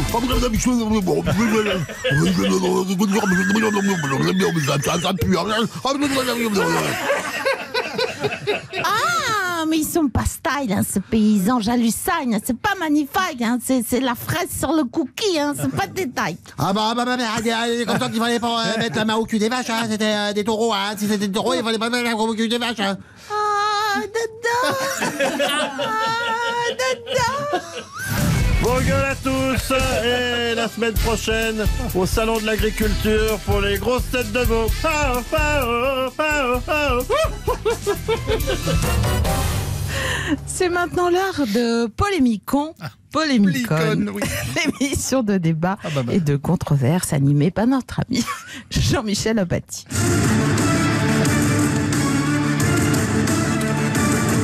Chers téléspectateurs, chères téléspectatrices, bonjour et bienvenue dans ce nouveau numéro de Polémicon Polémicon, la première émission de débat inclusive à l'approche de la cérémonie des Césars. Je reçois aujourd'hui deux acteurs, Corinne Vaserio, interprète de Capitaine Marlowe sur France 3 et nouvelle égérie ouais, ouais. de la gauche contestataire avec du poil sous les bras, et Gérard Depardieu. Bonjour à tous les deux. Ouais, tchou. Bon, par contre, t'as- t'as dit que tu recevais deux acteurs? Bah, Moi, je suis, je suis pas un acteur, je suis, je suis une actrice. Vous avez raison, il ne faut pas exclure les femmes. C'est d'ailleurs un peu ce que vous avez exprimé récemment en fustigeant, je cite, les bourgeois hétéro-catholiques blancs de droite du cinéma français. Et je persiste. Oh, mais qu'est-ce qu'elle raconte, cette folle? Ça fait combien de temps que t'as pas mis les pieds dans un cinéma? Guédiguian, il est de droite, et Omar Sy, il est blanc, et Polanski, il est catho, et Sandrine Kiberlin qui a présidé les Césars. C'est un homme, peut-être Ouais, ouais, ouais, peut-être en attendant, hein, c'est qui qui va jouer De Gaulle? Eh ben, c'est Lambert Wilson, un homme comme par hasard. Moi aussi, j'aurais pu le faire, j'ai du poil sous les bras. Évidemment, c'est un homme, c'est le général de Gaulle, pas le général de Vulve. Oh Et encore heureux que c'était un homme, sinon alors qu'il est, on parlerait tout salement, nom de Dieu Macho Fumier Merci à tous les deux pour ce superbe clash qui va, je l'espère, faire le buzz sur les réseaux sociaux. Notre prochaine émission sera diffusée en direct du Salon de l'Agriculture où je recevrai Clémentine Autain, Caroline Dehaas et Isabelle Alonso pour évoquer le problème du harcèlement sexuel des taureaux dans les élevages de vaches. C'est demain vendredi qu'aura lieu la 45e cérémonie des Césars animée par Florence Foresti. Comptons sur elle pour donner un peu de gaieté à ce programme qui souvent, il faut bien le reconnaître, frise d'ennui. Imaginons comment les princes du divertissement d'antan animeraient cette 45e édition avec en première ligne l'indémodable Guy Lux.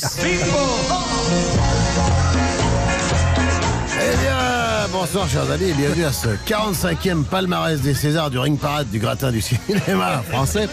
D'ailleurs, à propos de gratin, je profite d'être en audiovision 4 couleurs pour dire à ma femme Chérie, mets le thermostat sur 12, tiens-moi au chaud les saucisses. C'est pas possible que je tape dedans à mon retour et que ce soir, au Fouquet, ça va être encore vegan. ah, ces cons-là, ils vont nous servir des carottes crues et des graines. J'ai envie de leur dire. J'ai envie de leur dire d'ailleurs, je suis ni un lapin ni une poule, je suis Guilux. Eh bref. Eh bien, j'aperçois mon ami Léon Zitrone qui s'agite sur son retour téléphonique. Qu'est-ce qui se passe, mon cher Léon? Parlez bien dans l'esquiveau, mais évitez de le lécher, ça vous évitera de saloper la bonnette. Guy, Guy, une bande de jeunes gens en survêtement, coiffés de casquettes, tentent de s'introduire sur le tapis rouge à l'entrée de la salle Playel.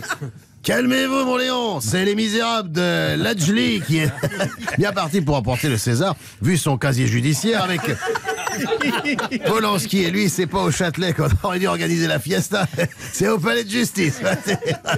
On va dire oreillette électrique Radio La 5000 que Simone Garnier a un message, d'ailleurs ma chère Simone, à nous faire passer en voiture, Simone. Oui, mon, mon cher Guy, la 45e cérémonie des Césars est placée sous le signe de la libération de la parole des femmes. Eh ben dis donc, je suis pas sûr que ce soit une bonne idée, hein, qu'elle soit en roue libre au niveau de la parole.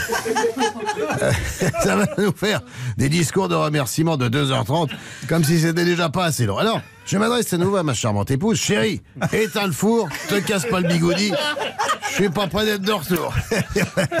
Et on part tout de suite, euh, les chers amis, chers téléspectateurs, au standard SVP 1111 Élysée 3210, rejoindre Gennaro qui va nous donner la liste des nommés pour les meilleurs acteurs et meilleures actrices cette année. On vous écoute, Gennaro. Envoyez-nous du rêve. Faites péter les paillettes.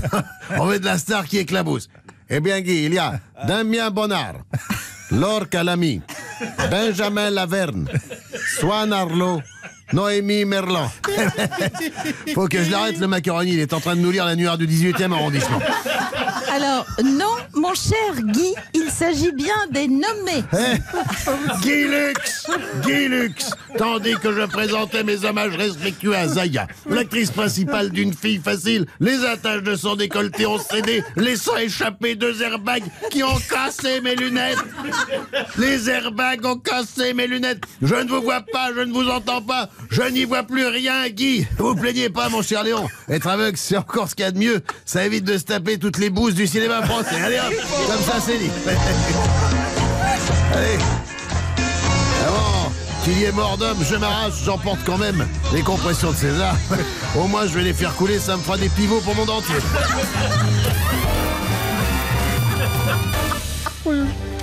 Et oui. Bah oui, je peux vous dire que du coup, c'est vraiment pas besoin de regarder la cérémonie, ça y est.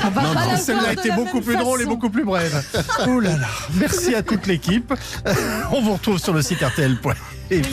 Merci. Et dans un- quelques instants, c'est c'est l'heure de la météo sur RTL. Envoyez la météo, Simone.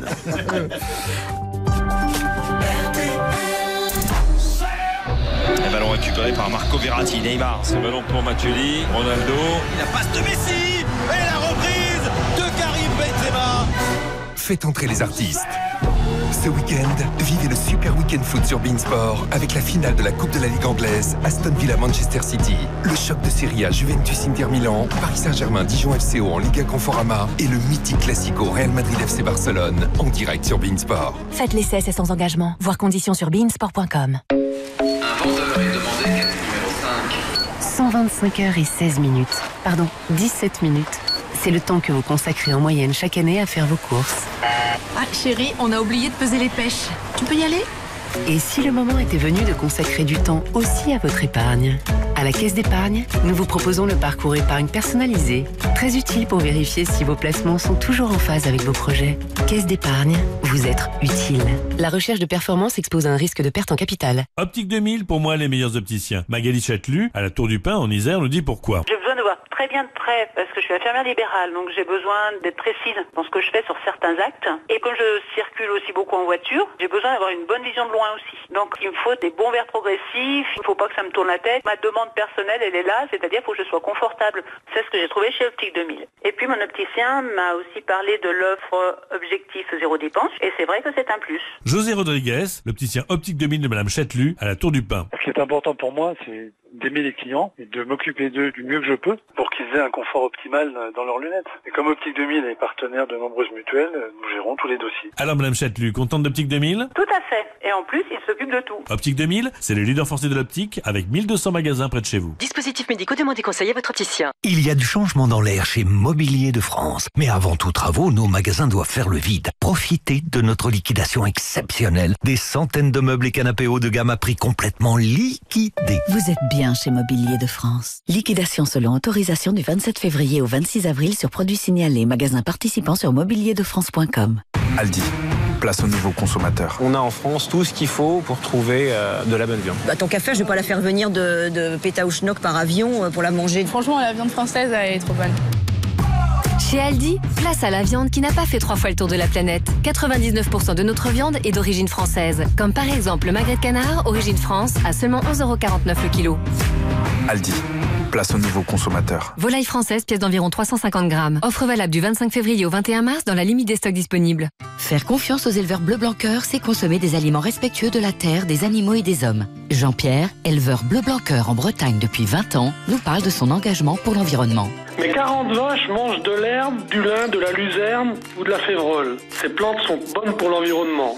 Chaque année, dans mon seul élevage, c'est comme si j'avais économisé 130 000 km en voiture. Grâce à Bleu Blanc Cœur, je mesure l'impact de mon engagement pour le climat et en plus, c'est reconnu par les Nations Unies. Vous aussi, engagez-vous en consommant les aliments bleu-blanc-cœur.